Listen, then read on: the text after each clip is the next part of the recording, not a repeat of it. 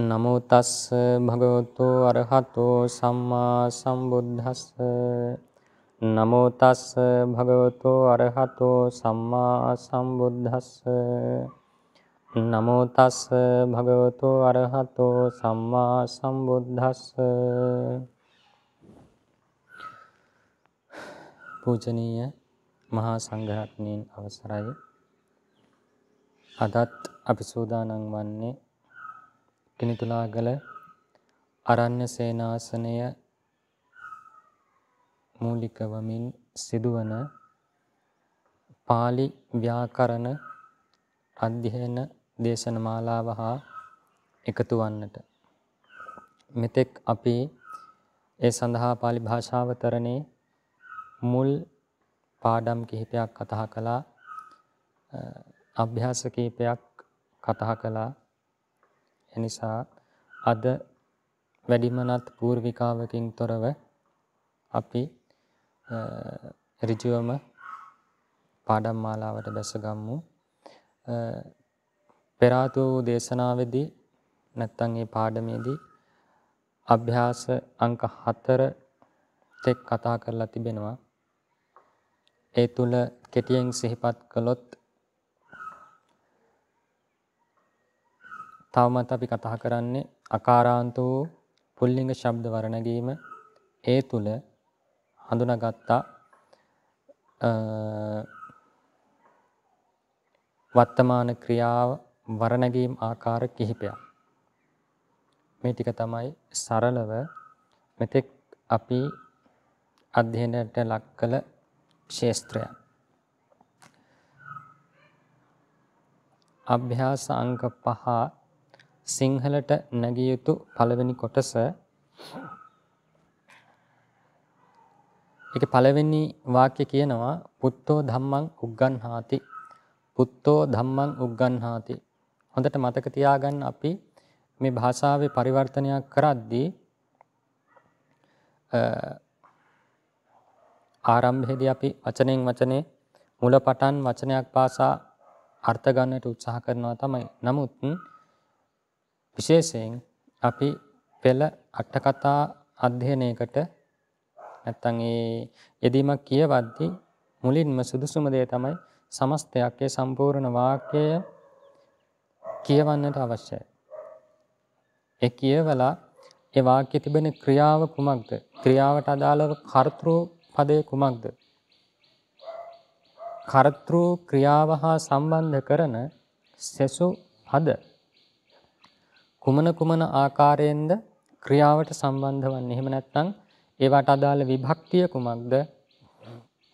ඒක වචන බහුවචන භාවය කුමක්ද කියලා අපි විමසන්නට ඕන. පළවෙනි වාක්‍ය කෙටියෙන් ඒ පිළිබඳව සිහිපත් කළොත් පුත්තෝ ධම්මං උග්ගන්හාති. අපි ධම්මං කියන වචනේ මදකට පසක තියලා කර්තෘ සහ ක්‍රියාව හුදෙක් සැලකුවොත් පුත්තෝ ධම්මං උග්ගන්හාති. පුත්තෝ ධම්මං උග්ගන්හාති. පැහැදිලි උග්ගන්හාති කියන ක්‍රියාව දකිද්දිම අපට වැටහෙනවා මේ කතා කරන්නේ කාල වශයෙන් ගත්තොත් වර්තමාන කාලය ඒ වගේම වචන භේදයෙන් ගත්තොත් ඒක වචන රූපයක් උග්ගන්හාති කියන්නේ.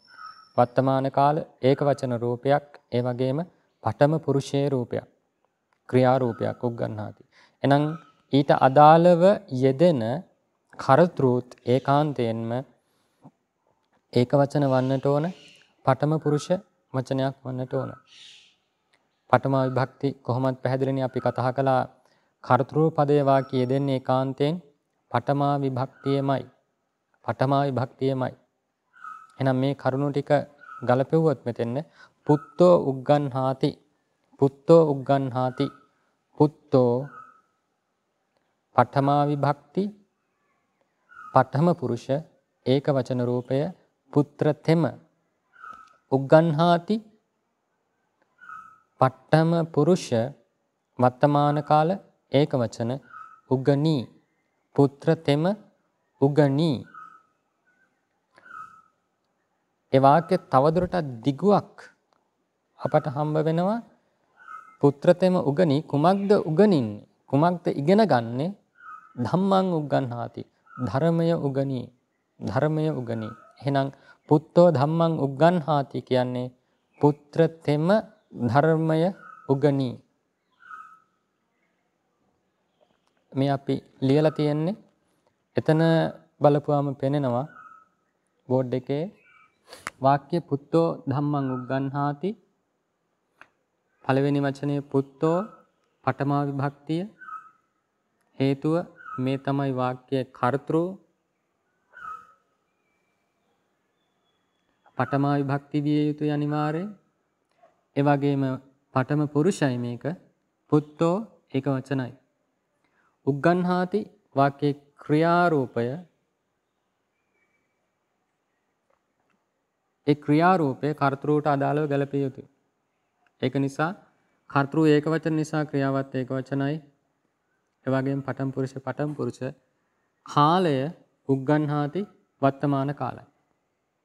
වර්තමාන කාලය. ඒ කොටසේ තේරුම තමයි පුත්‍රතෙම උගනී. කුමක්ද පුත්‍රයා ඉගෙන ගන්නේ ධම්මං උග්ගන්හාති. ධර්මය උගනි. ආ ඒ ධර්මය ඒකට අපි කියන වාක්‍යයේ කර්මපදය.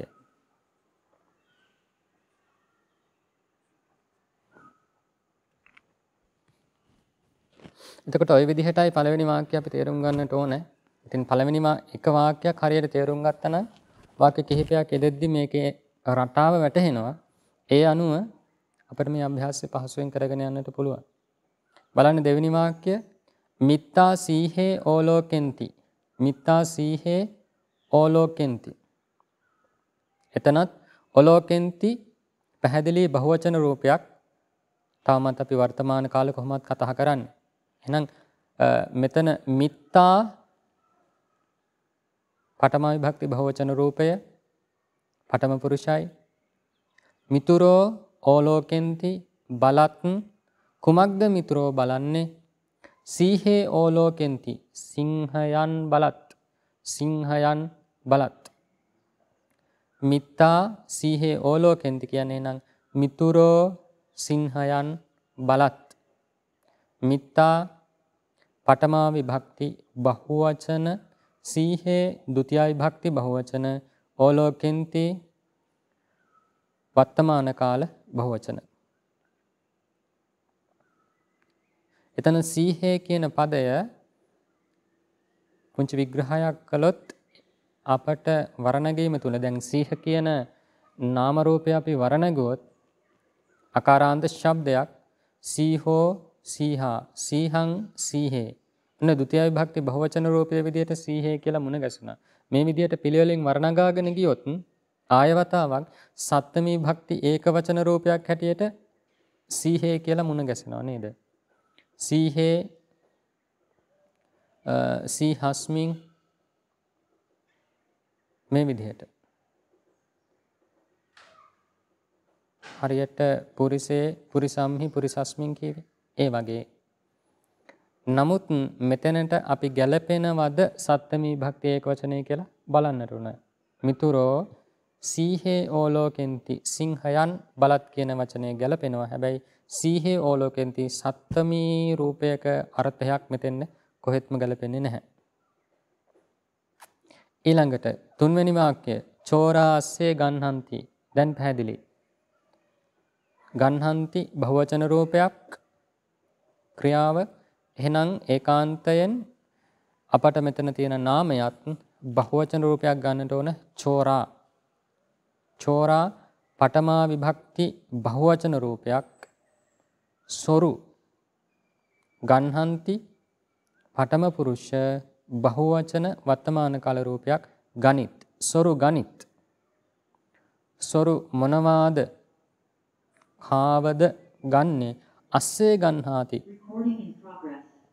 අසුන් ගනිත් අසුන් ගනිත් අශ්වයින් ගනිත් පැහැදිලි එහෙනම් එතන අස්සේ කියන්නේ ဒုတိ ය විභක්ති බහුවචන රූපයක් තුතියා විභක්ති බහුවචන පඨම පුරිස.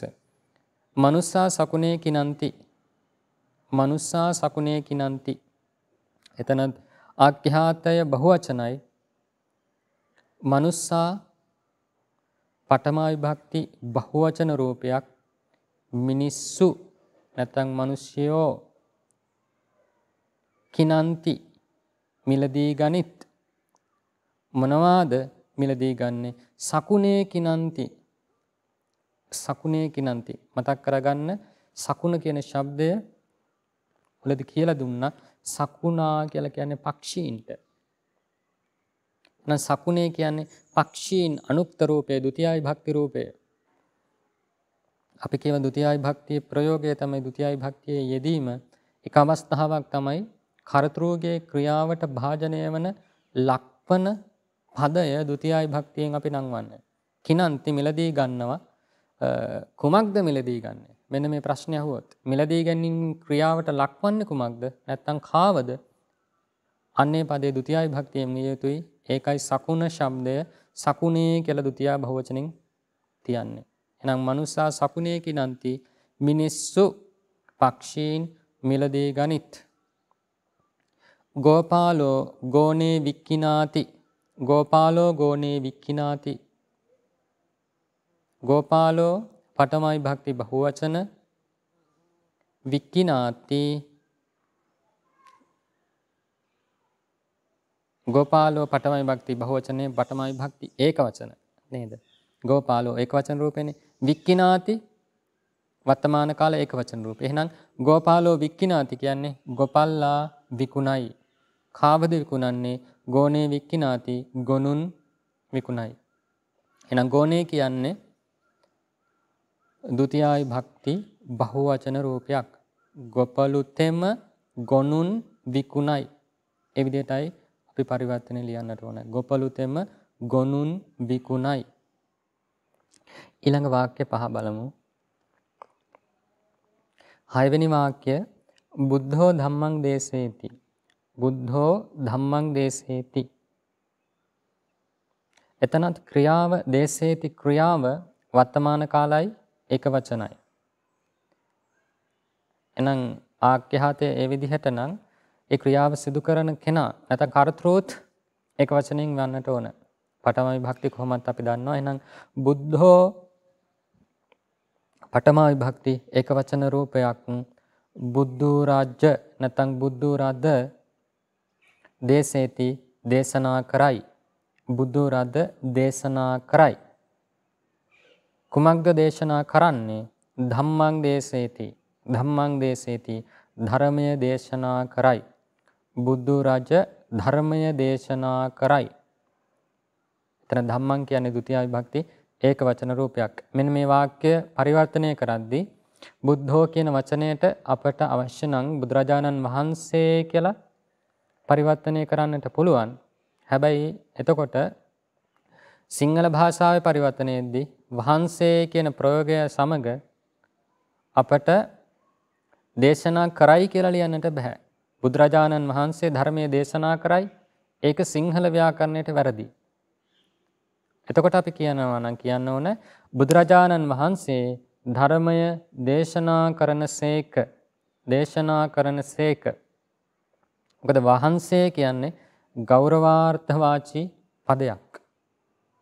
ඒක නිසා මේ වගේ තැනක අපි ආරම්භයේ තාම පාඩම් මාලාව යන හින්දා පරිවර්තනය කරමු. බුද්ධෝ ධම්මං දේශේති බුදු රජ ධර්මය දේශනා කරයි. හත්වෙනි වාක්‍යය. සීහෝ මිගේ මාරේති.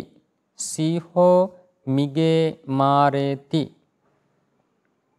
ක්‍රියාව බලන්න. මාරේති.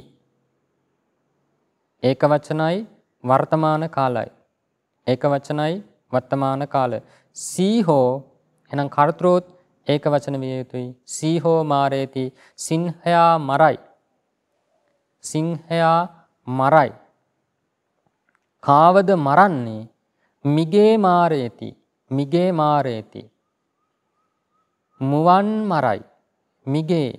එතනත් හොඳට බලන්න. මිගේ කියන රූපය අපට වරණැගීමේදී තැන් ဒုတိ යයි භක්ති බහවචන රූපයත් මුණ ගැසෙනවා. සත්ත්‍මි ඒක වචන රූපයත් මුණ ගැසෙනවා. හැබැයි මෙතන ගැලපෙන්නේ ဒုတိ යයි භක්ති බහුවචන රූපය. ඒක නිසා මිගේ මාරේති මුවන් මරයි.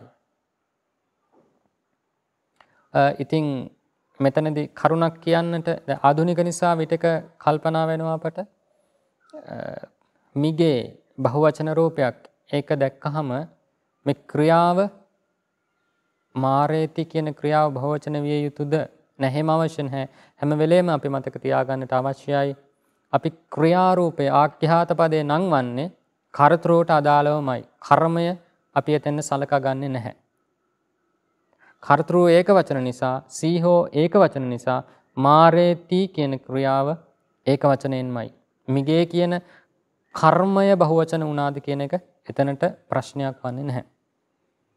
අටවෙනි වාක්‍ය වානිජස්ස පුත්තා අජේ වික්කිනන්ති. වානිජස්ස පුත්තා අජේ වික්කිනන්ති. එතන අපි වික්කිනන්ති කියන්නේ විකුණත් විකුණත් බහුවචන ක්‍රියාපදයක් වර්තමාන කාලයි. වර්තමාන කාල බහුවචන ආඛ්‍යාත රූපය වික්කිනන්ති. එහෙනම් කරතෘ ඒකාන්තයෙන් බහුවචන රූපයක් විය යුතුයි. පටමයි භක්තියේ ඉන්න එකම පදයයි මේ විදිහට තියෙන්නේ පුත්තා. එහෙනම් ඒ වාක්‍ය අපි සරලව කඩා ගමු. වානිජස්ස පුත්තා අජේ වික්කිනන්ති කියන ওই වාක්‍ය පද හතරෙන් අපි ගම්මු. පුත්තා වික්කිනන්ති. පුත්තා පටමයි භක්ති බහුවචන වික්කිනන්ති. වර්තමාන කාල බහුවචන ක්‍රියාපදය. පුත්තා වික්කිනන්ති කියන්නේ එහෙනම් පුත්‍රයෝ විකුණති. පුත්‍රයෝ විකුණති. පළවෙනි පදය වානිජස්ස. වානිජස්ස. වානිජ කියන රූපය වර්ණගුවොත් පඨමා වානිජෝ වානිජා ဒ ුතියා වානිජං වානිජේ තතියා වානිජේන වානිජේභි වානිජේහි චතුත්ථි වානිජාය වානිජස්ස වානිජානං ඔන්න වානිජස්ස කියලා චතුත්ථි භක්තියේදී මුණ ගැසෙනවා. එහෙනම් මෙතනට චතුත්ථ විභක්ති රූපය ගලපලා බලන්න. වානිජස්ස පුත්තා වෙලෙන්දාට පුත්‍රයෝ. වෙලෙන්දාට පුත්‍රයෝ ගැලපීමක් එන්නේ නැහැ. පංචමී භක්ති වානිජා වානිජම්හා වානිජස්මා වානිජේබි වානිජේහි චට්ටි වානිජස්ස වානිජානං ආහෙනම් චට්ටි විභක්තියත් වානිජස්ස කියලා මුණ ගැසෙනවා. චට්ටි විභක්තිය අපි කියවා මේක සාමි අර්ථය දෙන්නේ අයිතියකුයි ප්‍රකාශ වන්නේ චට්ටි භක්තියෙන්. නම් වානිජස්ස පුත්තා වෙලෙන්දාගේ පුත්‍රයෝ. අය විදිහට ගත්තොත් අර්ථයක් එනවා. ඒක නිසා සමහර නාම පද ඒ නාම පදයන්ගේ වර්ණගීම් විභක්ති රූප කිහිපයක අපට ප්‍රකටයි. නැත්තම් විභක්ති රූප කිහිපයක තිබෙන්නට පුළුවන්. හැබැයි ඊට අදාළ ගැළපෙනම රූපය ගැළපෙන විභක්තිය කුමක්ද කියලා අපි තෝරලා ගන්නට ඕන. එහෙනම් මෙතන ගැළපෙන්නේ වානිජස්ස කියන්නේ චට්ටි විභක්ති ඒක වචනයි. චට්ටි විභක්ති ඒක වචනයි. වානිජස්ස වෙලෙන්දාගේ පුත්‍රයෝ වික්කිනන්ති විකුණත්. වෙලෙන්දාගේ පුත්‍රයෝ විකුණත්. එනම් කුමක්ද මේ විකුණන්නේ? විකිනීම් ක්‍රියාවට භාජනය වන්නේ ලක්වන්නේ අජේ එළුවන් එළුවන් එළුවන් විකුණත් ဒ ුතියා විභක්ති බහුවචන රූපයක් අජේ එහෙනම් වෙලෙන්දාගේ පුත්‍රයෝ එළුවන් විකුණති. නවවෙනි වාක්‍ය. මයං වානිජම් හා මංචේ කිනාම මයං වානිජම් හා මංචේ කිනාම කිනාම පැහැදිලි මෙතෙක් අපි කතා කරපු පඨම පුරුෂ රූපයක් නෙමෙයි. කිනාම කියන්නේ උත්තම පුරුෂ බහුවචන රූපයක්. උත්තම පුරුෂ බහුවචනයි. කිනාම. කිනාති කිනන්ති කිනාසි කිනාත කිනාමි කිනාම. මේ විදිහට වරණගුණ. එහෙනම් කිනාම කියන්නේ මිලදී ගනිමු. මිලදී ගනිමු.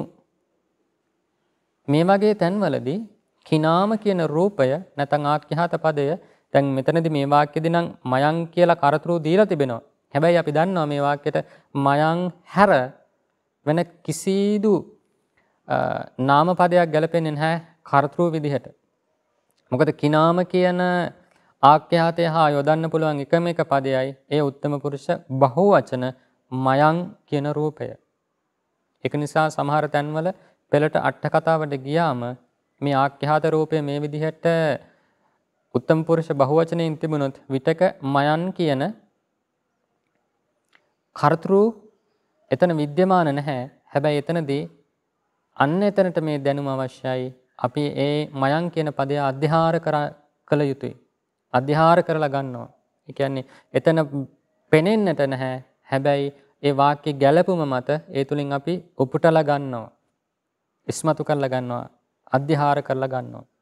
එහෙනම් මයංකිනාම අපි මිලදී ගනිමු. එහෙනම් මිලදී ගැනීම ක්‍රියාව මොනවද මිලදී ගන්නේ? මංචේ කිනාම මයං මංචේ කිනාම අපි ඇඳන් මිලදී ගනිමු. ဒ ුතියයි භක්ති භවචන රූපයක් මංචේ කර්මපදයේ මේ වාක්‍යය ඊළඟට වානිජම්හා කියන නාම රූපය කොහොමද ගලපන්නේ මෙතන? මයං වානිජම්හා මංචේ කිනාම වානිජම්හා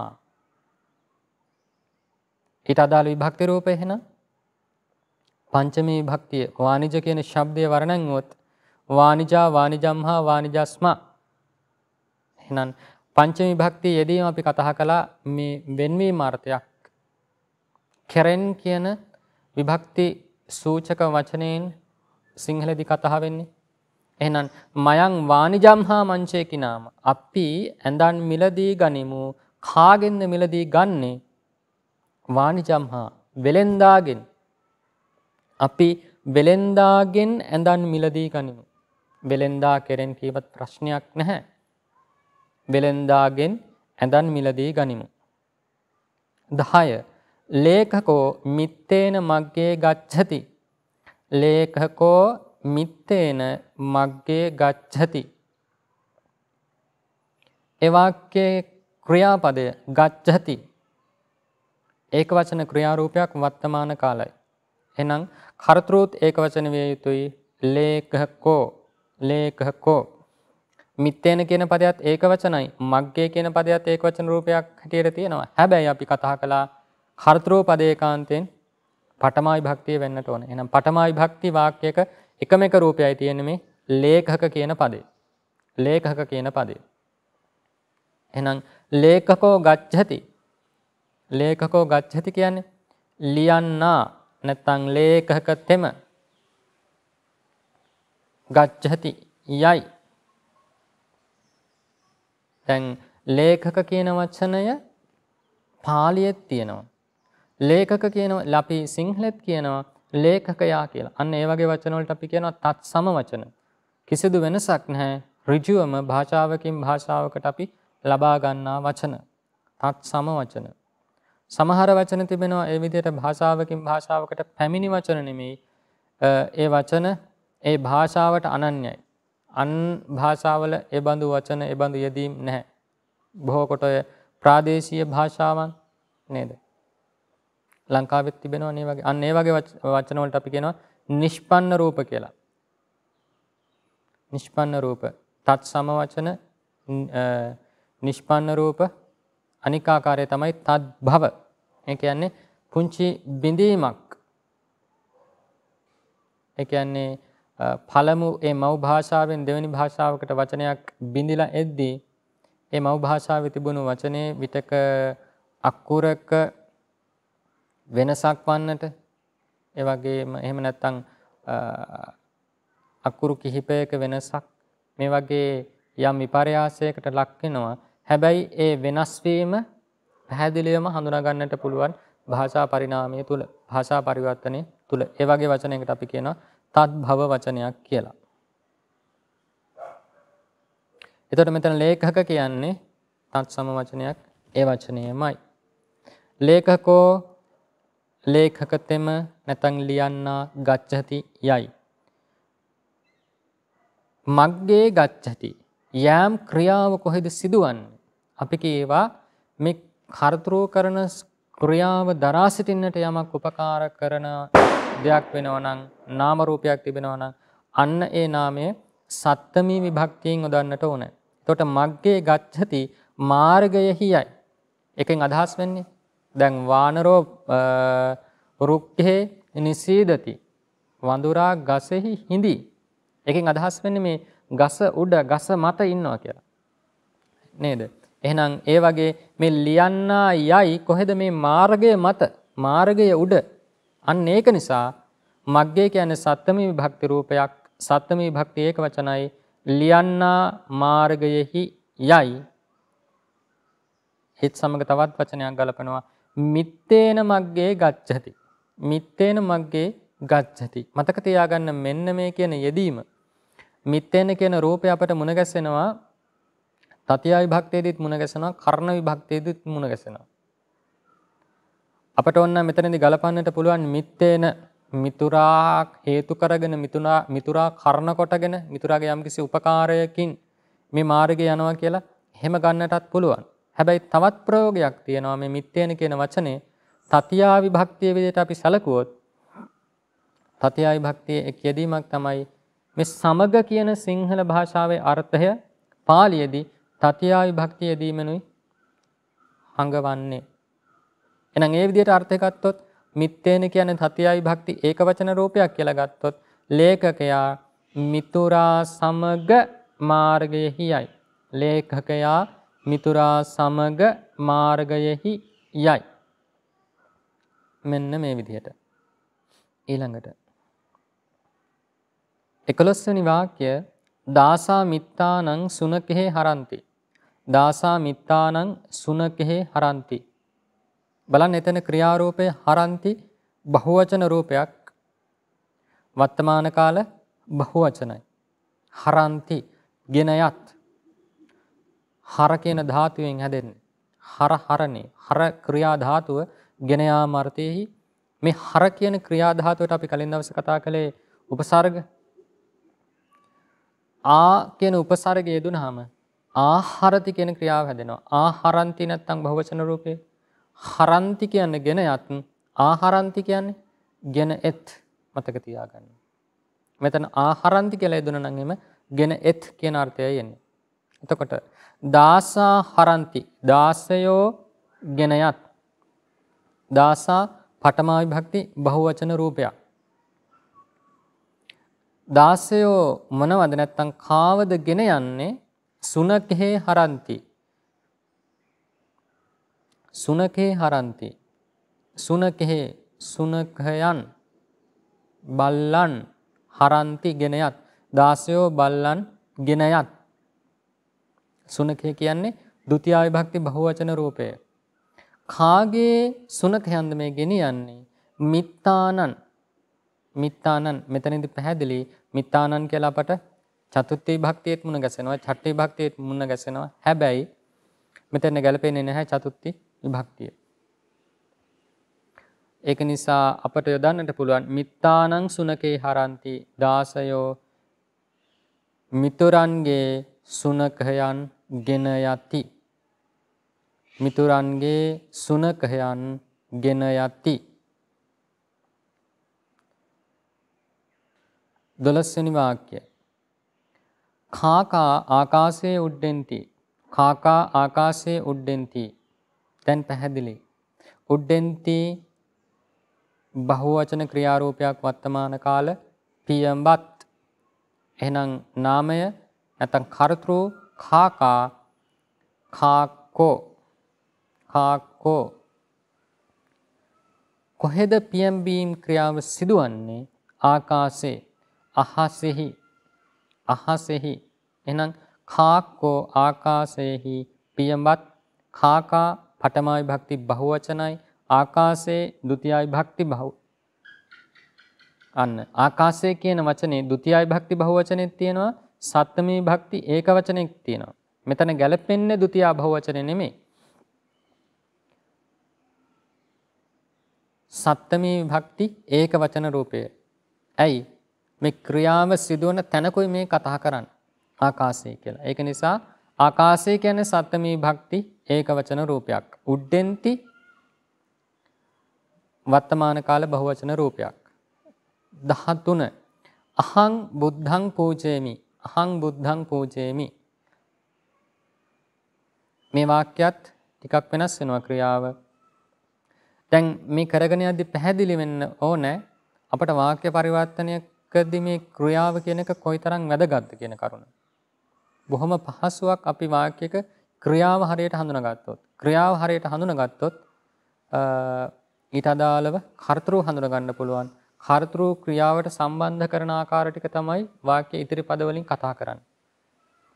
ඒක නිසා පූජේමි පුරුෂය ගත්තොත් මේක පඨම පුරුෂයක් නෙමෙයි මධ්‍යම පුරුෂයක් නෙමෙයි උත්තම පුරුෂයක්. උත්තම පුරුෂයයි ඒක වචනයි.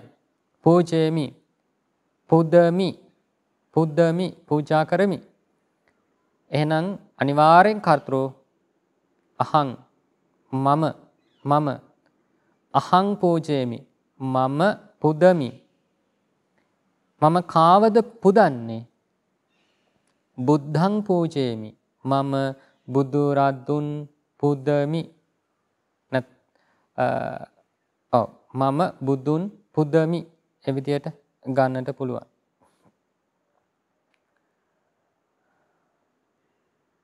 ඊළඟ වාක්‍ය. එතන අහං කියන්නේ උත්තම පුරුෂ ඒකවචන රූපයක්. බුද්ධං කියන්නේ ဒ ුතියයි භක්ති ඒකවචන රූපයක්.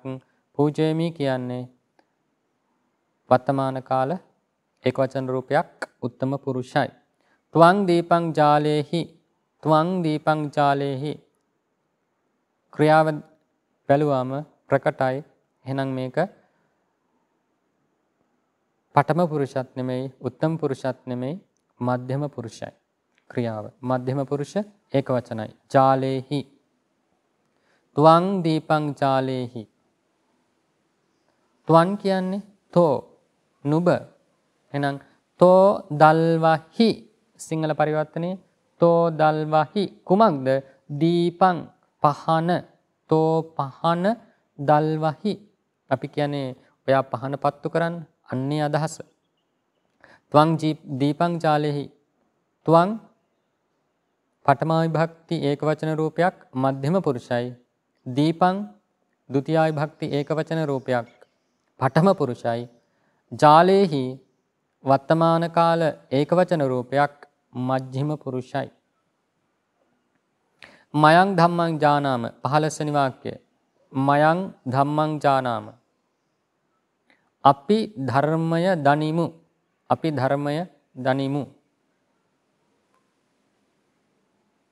මයං පටමයි භක්ති උත්තම් පුරුෂ බහුවචන රූපයක්. මයං.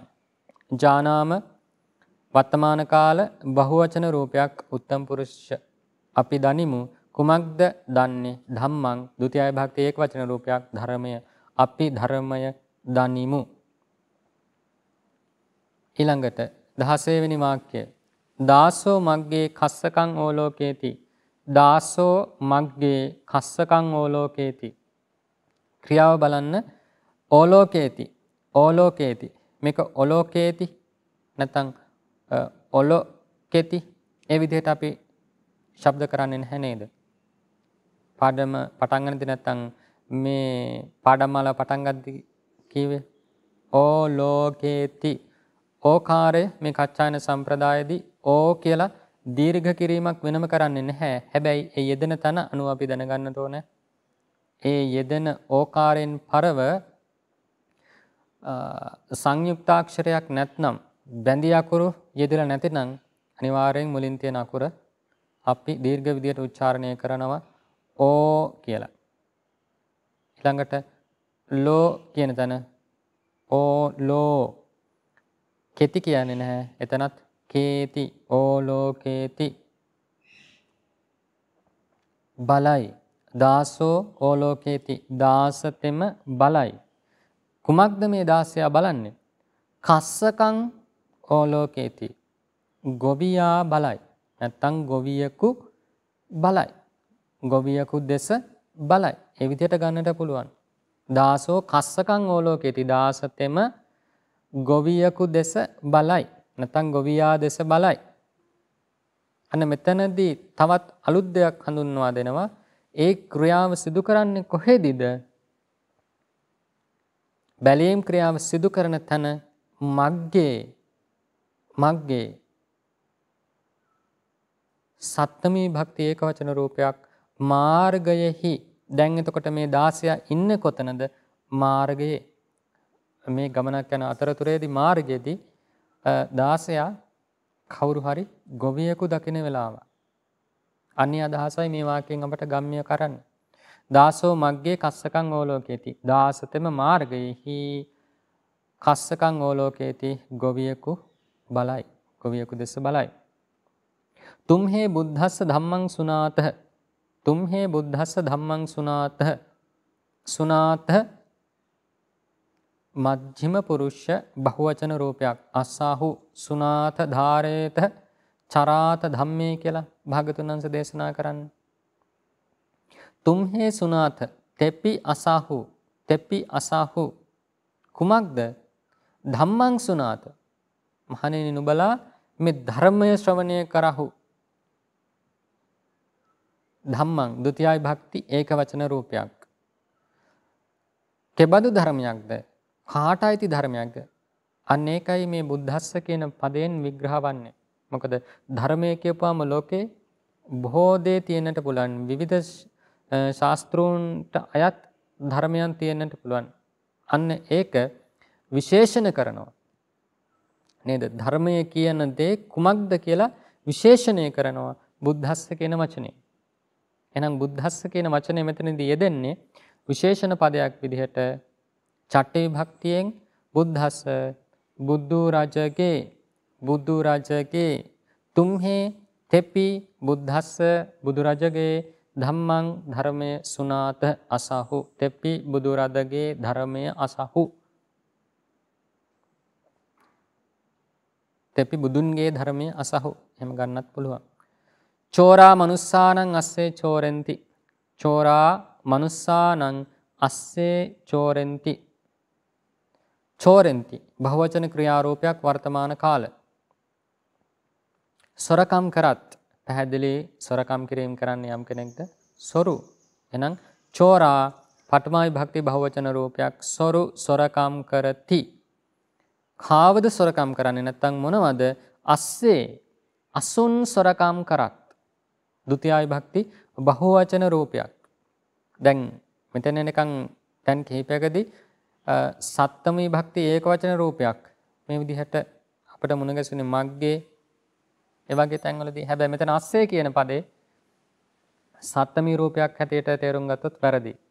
අස්සේ කියන්නේ ဒုတိ ායි භක්ති රූපය. එහෙනම් චෝරා අස්සේ චෝරෙන්ති සොරු අසුන් චෝරෙන්ති. සොරකම් කරත්. කුමන අසුන්ද? අන්න අශ්වයන් කියන එක අශ්වයින් කියන එක විශේෂ කරනවා.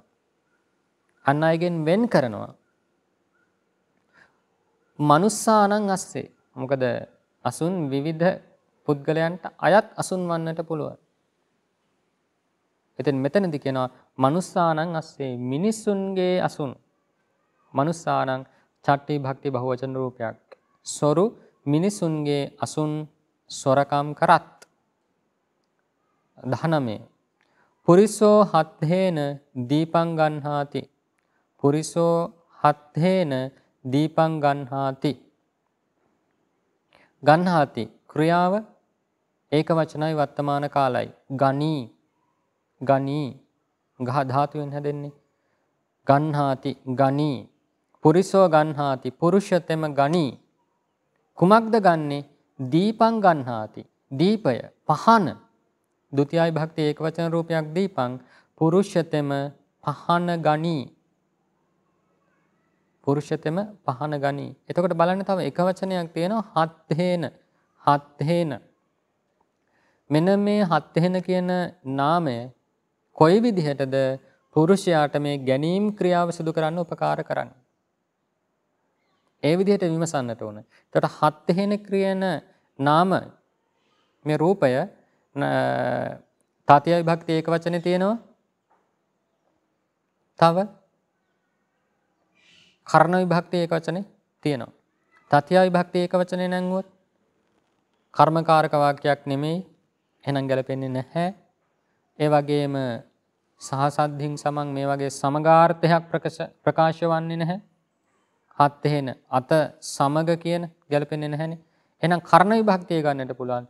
පුරිසෝ හත් එහෙන පුරුෂතෙම අත උපකාර කොටගෙන අත කරන කොටගෙන නැත්තං අපි තෙරෙන්න කිවත් අතින් පුරුෂතම අතින් දීපං ගන්හාති පහන ගනී. එතකොට හත් එහෙන කියන්නේ කර්ණ විභක්ති ඒක වචන රූපයක්. ඡන්தோ පබ්බතා උදේති. ඡන්தோ පබ්බතා උදේති. එතනත් උදේති පඨම පුරුෂ ඒක වචන රූපයක් වර්තමාන කාලයි ඡන්தோ ඒක වචනයි පට්ඨමා විභක්ති. එතකොට ඡන්தோ උදේති. සඳ උදේති කියන්නේ උදා වෙනවා, නැග එනවා කියන අදහස.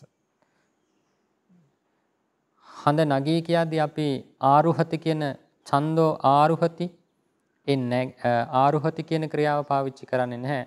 හඳ නැග එනවා කියද්දී උදා වෙනවා කියන අදහසන තියෙන්නේ.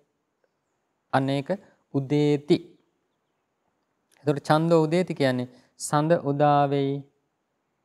පබ්බතා පබ්බතා කියන නාම පදය බලන්න වර්ණන් වෙලා තියෙන්නේ කොහෙද? පඨම විභක්ති බහුවචන රූපයේ තිබෙනවා පබ්බතා කියලා. ආලපන අවස්ථාවේදී තිබෙනවා. ඊට පස්සේ පංචමී භක්තියෙත් තිබෙනවා. කොතැනද ගලපෙන්නේ? මුලින්ම ගත්තොත් පඨම විභක්ති බහුවචන රූපයේ ගලපෙන්න පුළුවන්ද?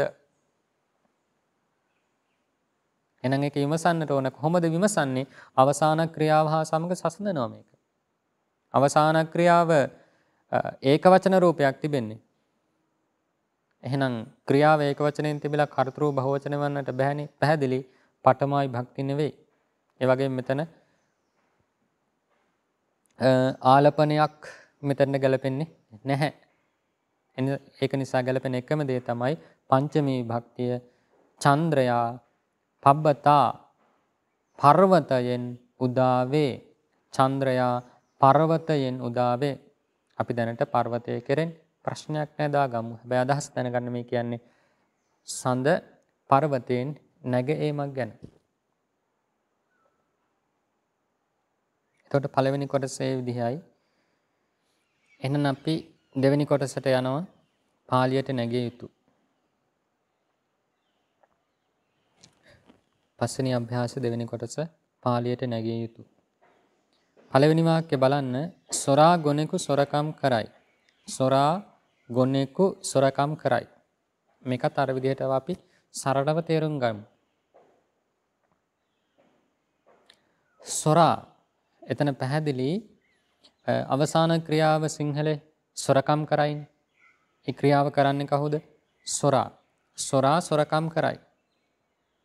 සොරා කියන්නේ කර්තෘ සොරකම් කරයි ආඥාතේ. එහෙනම් කර්තෘ අපි කියවා පඨමයි භක්තිය වෙන්නට ඕන. චෝරෝ සොරකම් කරයි වර්තමාන කාල අර්ථයක් ගම්‍ය වන්නේ. එහෙනම් චෝරේති. චෝරෝ චෝරේති. මොකක්ද? නැත්තම් කාවද සොරකම් කරන්නේ? ගොනෙකු සොරකම් කරයි. ගෝනං චෝරේති. හොඳට බලන්න එතන ගොනෙකු කියද්දි ဒုတိ ය භක්ති ඒක වචනෙන් එන්නට ඕන කර්ම පදයේ හේතුව. එහෙනම් චෝරෝ ගෝනං චෝරේති. දෙවෙනි වාක්‍යය ලියන්නාගේ පුතා අශ්වයකු මිලදී ගනි.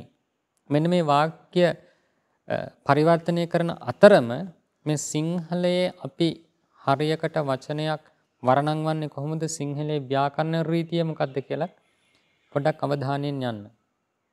ගොනෙකු දැන් පළවෙනි වාක්‍ය අපි ලියවනම් සොරා ගොනෙක් සොරකම් කරයි කියලා. ඒක සිංහල ව්‍යාකරණයට වැරදි. මොකද ගොනෙක් කියන වචනය ඒ රූපය උක්තයි නැත්නම් පඨමා විභක්ති ආකාරයේ රූපයක්. ඒක නිසා ගැලපෙන්නේ නැහැ. ဒုတိ යයි භක්තියෙන් එන්නට ඕන. ඒ නිසායි මේ ගොනෙක්කු කියලා දැම්මේ.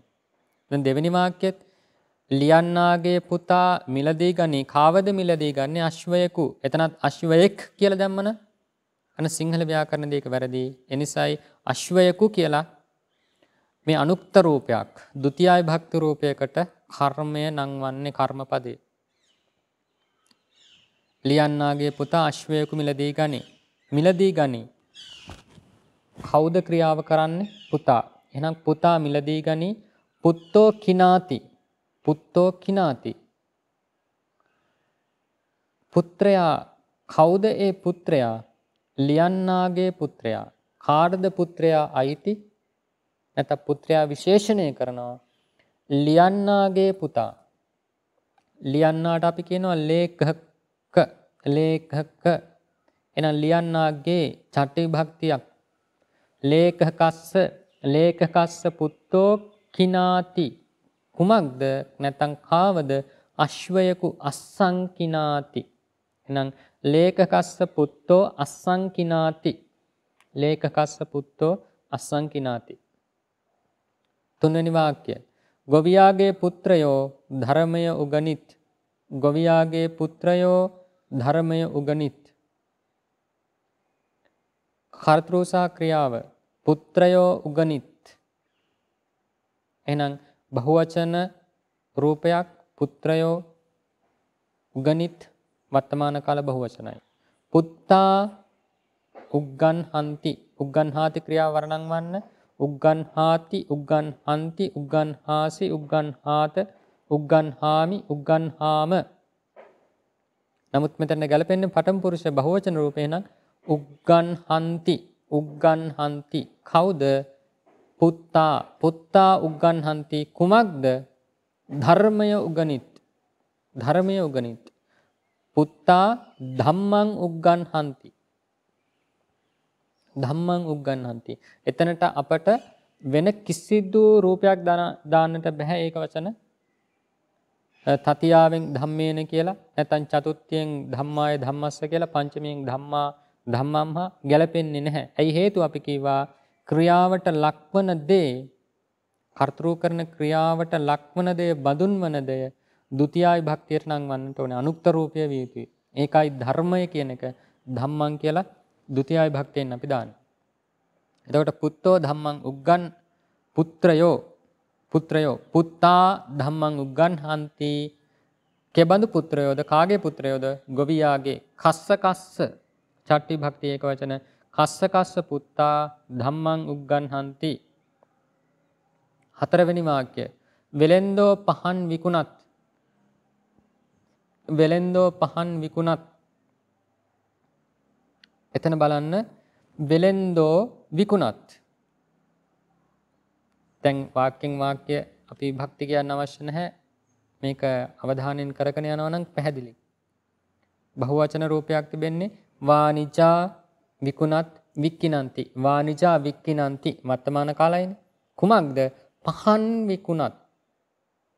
පහන් දීපේ වානිජා දීපේ වික්කිනන්ති.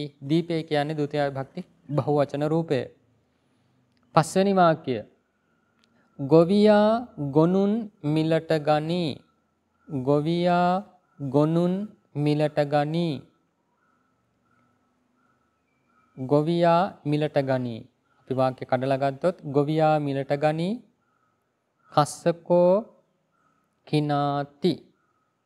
ඒක වචනයි වර්තමාන කාල කස්සකෝ කිනාති. කුමක්ද නැත්තම් කාවද ගොනුන් මිලට ගනී. මේ මිලදී ගන්න ගොනුන්. එහෙනම් ගොනුන් කියන වචනේ කර්මපදයේ මේ වාක්‍යයේ කර්මපදයේ අපි පාලියේදී තියන්නේ ဒ ුතියා විභක්තියෙන් ඒ වගේම බහුවචන රූපයක් ගෝනේ. කස්සකෝ ගෝනේ කිනාති. කස්සකෝ ගෝනේ කිනාති. මිත්‍රයාගේ පුතා ගමෙහි ඉගෙන ගනී. මිත්‍රයාගේ පුතා ගමෙහි ඉගෙන ගනී. එතකොට මේ වාක්‍යයේ ප්‍රමුඛාර්ථය තමයි පුතා ඉගෙන ගන්නවා. පුතා ඉගෙන ගනි. ඒ වාක්‍ය තව තවත් අපට දික් කිරීමක් තමයි මේ විතර විශේෂණ පද යොදලා මේ අවසාන ක්‍රියාව හා සමග කර්තෘ ඒ ක්‍රියාව කරන අයුරු විවිධ අයුරින් විග්‍රහ කරනවා අන් විභක්ති ප්‍රයෝග වලින් විභක්තින්ගේ යෙදීම් වලින්. එතකොට පුතා උගනී කියන්නේ පුත්තෝ උග්ගන්හාති. පුත්තෝ උග්ගන්හාති.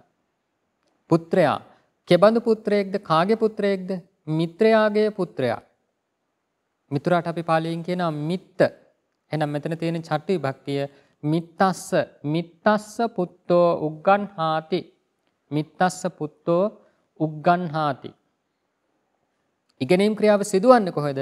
ගමෙහි ගමෙහි. එතකොට ගමේ තමයි මේක සිද්ධ වෙලා තියෙන්නේ. එහෙනම් ක්‍රියාව සිදුවන තැන අපි කියනවා සත්ත්මී භක්තියෙන්. මෙතන ඒක වචන රූපයක්. එහෙනම් ගාමේ. ගාමේ. මිත්තස්ස පුත්තෝ ගාමේ උග්ගන්හාති මිත්තස්ස පුත්තෝ ගාමේ උග්ගන්හාති හත්වෙනි වාක්‍යය රජ දිවයින පාලනය කරයි රජ දිවයින පාලනය කරයි. රජතුමා පාලනය කරනවා. වාක්‍යයේ සරල අදහස එයයි සංක්ෂිප්ත මූල අදහස එයයි. රජ පාලනය කරයි. රජතුමාට පාලියෙන් අපි මෙතෙක් දැනගත්ත බහුපාල කියන වචනේ අපි ඒක පාවිච්චි කරමු. භූපාල එනම් පටමයි භක්තියෙන් නැංගුවොත් භූපාලෝ භූපාලෝ පාලනය කරයි පාලේති. භූපාලෝ පාලේති පාලේති. කුමක්ද පාලනය කරන්නේ? දිවයින. දීපං පාලේති. භූපාලෝ දීපං පාලේති. දීපං කියන්නේ ဒုတိ ය විභක්ති ඒක වචන රූපය. අටවෙනි වාක්‍යය. අපි වෙලෙන්දාගේ පුතා දකිමු. අපි වෙලෙන්දාගේ පුතා දකිමු. අපි දකිමු.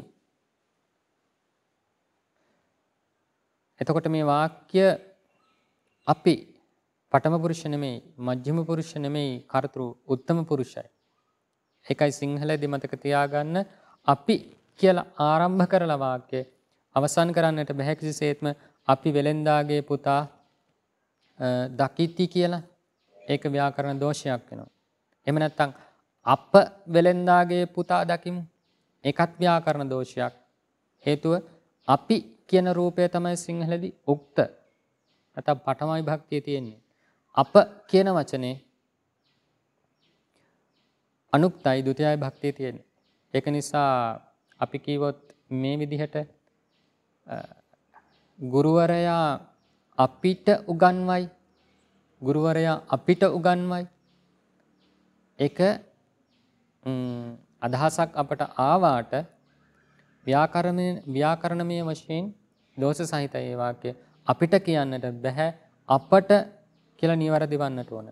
ගුරුවරයා අපට උගන්වයි. අපට. මොකද අපිට කියලා පදයක් සිංහලේ නැහැ. අටවෙනි වාක්‍ය අපි වෙලෙන්දාගේ පුතා දකිමු. එහෙනම් අපි දකිමු මයං ඕලෝකේම මයං පස්සාම. කාවද දකින්නේ පුතා දකිමු පුතා දකිමු බලන්න පාලි පාලියේ නම් පඨමා විභක්තිය සහ ဒုတိ ය විභක්තිය අතර ප්‍රමුඛ පැහැදිලි වෙනසක් තිබෙනවානේ. පඨමා රූපය පුත්තෝ, ද්විතියාරෝපය පුත්තං හැබැයි සිංහලයට ආපුවාම පුතා කියලා පටමයි භක්තිය ගන්නත් පුළුවන්. පුතා කියලා ද්විතියයි භක්තිය ගන්නටත් පුළුවන්. ඒක නිසා මෙතනදී අපි දැනගන්න ඕන මේ වාක්‍යයේදී මනෝ. ඒකයි කියමුලින්ම මේ අවසාන ක්‍රියාව සමග කොහොමද ඒ ඒ වචනේ ගැලපෙන්නේ? ඒ ඒ නාමපදේ ගැලපෙන්නේ. මෙන්න මේක හොඳට හිතන්නට ඕන. ඒක නිසා මේ දකිමු කියන ක්‍රියාව කරන්නේ පුතා නෙමෙයිනේ.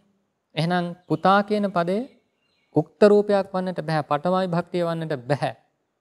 සිංහලේ බැලු බැලමට පටමා වගේ පෙනුනට. එහෙනම් අපි පුතා දකිමු කිව්වොත් මයා මයන් පුතා පුත්තං ඕලෝකේම මයං පුත්තං ඕලෝකේම නැත්නම් පස්සාම කෙබඳු පුතෙක්ද කාගේ පුතෙක්ද විශේෂණ කරනවා වෙලෙන්දාගේ පුතා වානිජස්ස පුත්තං. වානිජස්ස පුත්තං. මයං වානිජස්ස පුත්තං ඕලෝකේම. මයං වානිජස්ස පුත්තං ඕලෝකේම. ඒ විදිහට එන්නට ඕන. නවවෙනි වාක්‍ය. වඳුරෝ පක්ෂීන් පෙලත් පෙලත් ක්‍රියාවට අපි පාලියෙන් කියන්නේ පීලේති. පීලේති. එහෙනම් වඳුරෝ පෙලත් ආ පෙලත් කියන එක ඒක වචන නෙමෙයි බහුවචනයි. පීලෙන්ති. කවුද ක්‍රියාව කරන්නේ? වඳුරෝ. වානරා පීලෙන්ති. මක්කටා පීලෙන්ති. කාවද පෙලන්නේ නැත්තම් පෙලීම් ක්‍රියාවට ලක්වන්නේ කවුද? පක්ෂීන්. පක්ෂීන්. සකු නේ. නේද? බහුවචන ဒုတိ යයි භක්ති රූපයක්. වානරා සකුනේ පීලෙන්ති. දහවෙනි වාක්‍ය. මිනිසාගේ අත් දෙස බලව. මිනිසාගේ අත් දෙස බලව. එතකොට වාක්‍ය අපි කඩලා ගමු. මිනිසාගේ අත් දෙස බලව. මේ වාක්‍ය හොඳට අවධානය යොමු කරන්න අවසාන ක්‍රියාව බලව බලව අවසාන ක්‍රියාව බලව එහෙනම් මෙතන පැහැදිලි මේ වාක්‍යයේ යෙදීම මේ ස්වરૂපය අනුව මේ කියන්නේ මේ කෙනෙකුට අන කරනවා විධානයක් කරනවා මේක කරන්නට කියලා මේ ක්‍රියාව කරන්නට කියලා යොමු කිරීමක්. එනිසා එබඳු යොමු කිරීමක් එබඳු විධානයක් අපට කරන්නට බෑ මේ පඨම පුරුෂ නාම පදයකට. නැත්නම් අපි ඉදිරියේ අප ඉදිරියේ නොසිටින කෙනෙකුට එබඳු විධානයක් කරන්නට බෑ. ඒ වගේම උත්තම පුරුෂ අවස්ථාවට මේ අපටම මේ විධානය කරන්නට එහෙම යෙදීමක් යෙදෙන්නේ නැහැ. ඒක නිසා මෙතන පැහැදිලි මේ බලව කියන පදේ යෙදෙන්නේ සිංහලෙදි නුඹ නැත්නම් තෝ තෝ බලව. ආ ඒක නිසා දැනගන්න අධ්‍යාර කරලා අපට ගන්නට පුළුවන් මේ ක්‍රියාව කවුද කරන්නේ?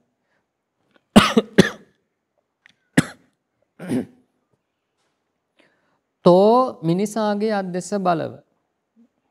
අනේ විදිහට කර්තෘ අපට අවශ්‍ය නම් අධ්‍යාර කරලා ගන්න පුළුවන්. හැබැයි මුලින් කිව්වා මේ වගේ තැන්වලදී කර්තෘ අවශ්‍ය නැහැ. හේතුව විශේෂණයක් අවශ්‍ය වන්නේ වෙනසක් නැත්නම් ව්‍යභිචාරයක් වෙන්වීමක් ඇති කල්හි වෙනස් වෙනස් ප්‍රයෝග ඇති කල්හි ඒක නිසා බලව කියන ක්‍රියාව හා සමග යෙදෙන වෙනත් නාමයක් නැහැ ඒකාන්තයෙන් දෙන්නේ තෝ නුඹ එනම් පාළයේදී තුවං මිනිසාගේ අද්දෙස බලව තුවං අද්දෙස බලව එකෙන් අදහස් වන්නේ අත් අත් බලන්න තුවං හත්හේ ඕලෝකේහි නැත්නම් ඕලෝකේසි අපි මෙතෙක් කතා කරේ ඕලෝකේසි කියලානේ. ත්වං හත්හේ ඕලෝකේසි. කුමන අද්ද මිනිසාගේ අත්. මනුස්සස්ස හත්හේ ඕලෝකේසි. මනුස්සස්ස හත්හේ ඕලෝකේසි.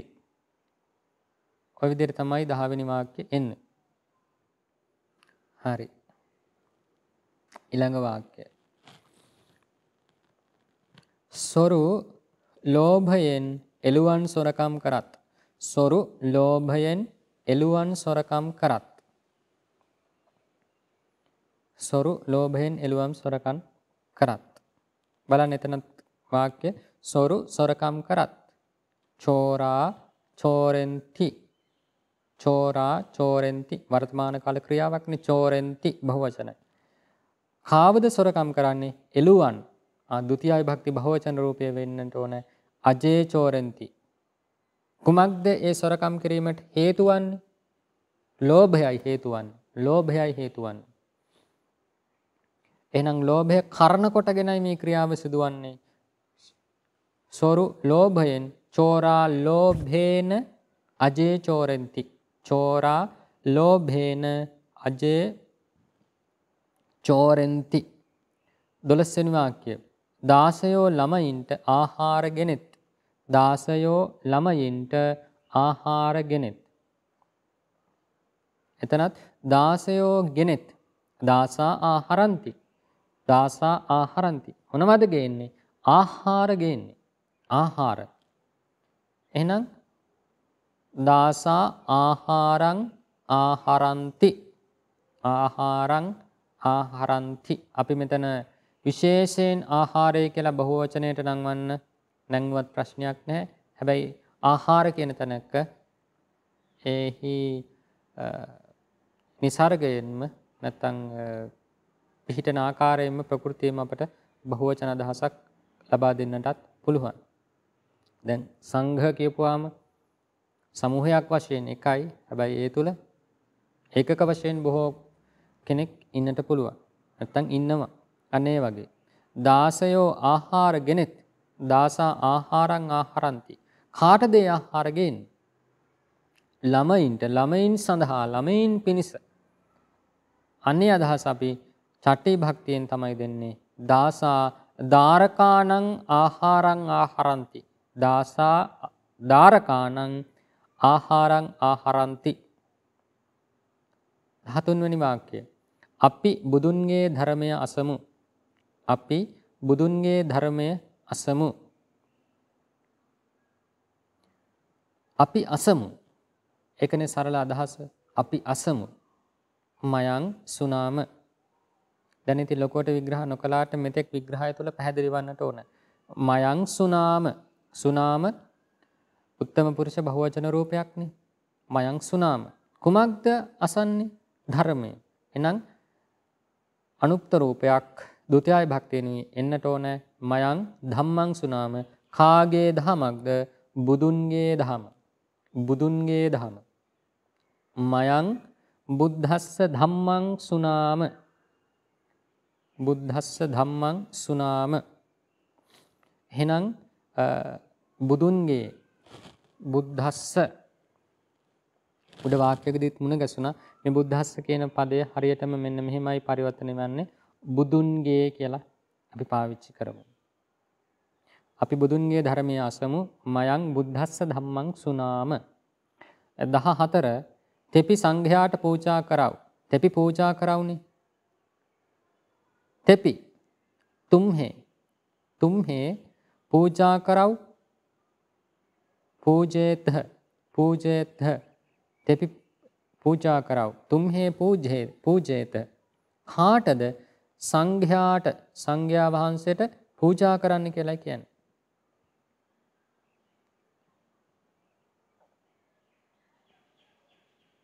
එතන අපට ගන්නට පුළුවන් තෙපි සංඝයාට පූජා කරව තුම්හේ සංඝස්ස පූජේත සංඝස්ස පූජේත අර දීමක් ලැබීම් අර්ථයෙන්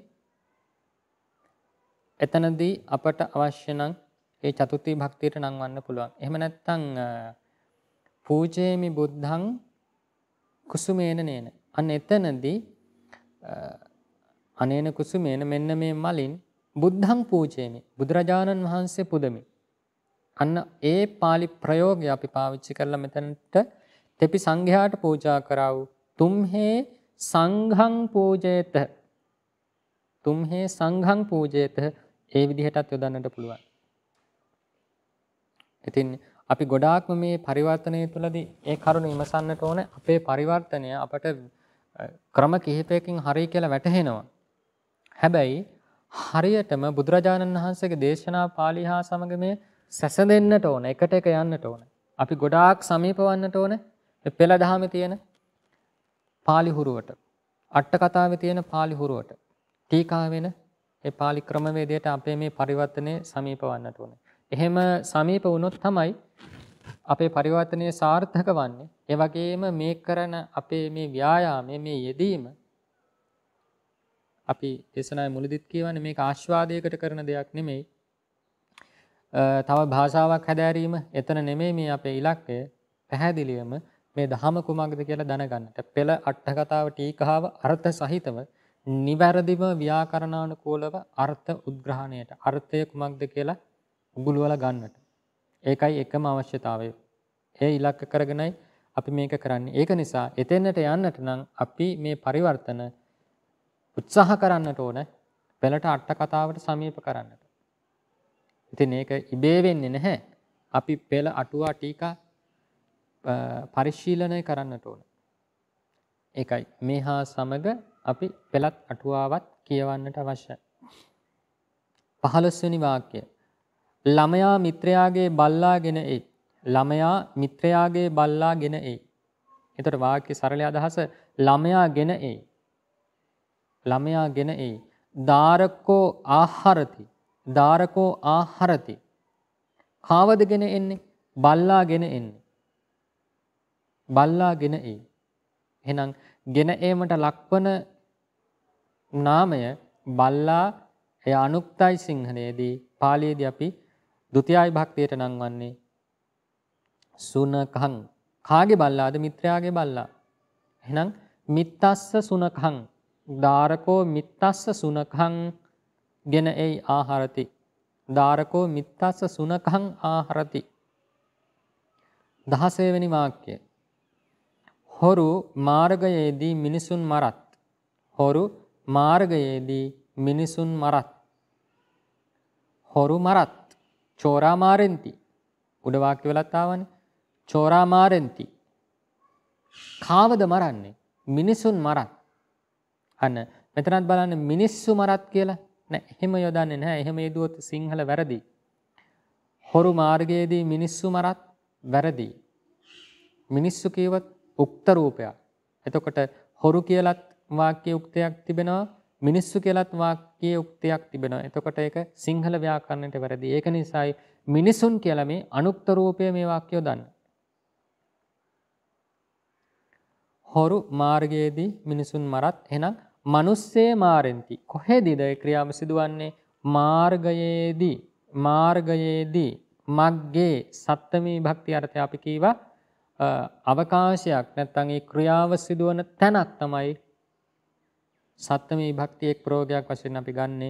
එහෙනම් චෝරා මග්ගේ මිනිස්සේ මාරෙන්ති.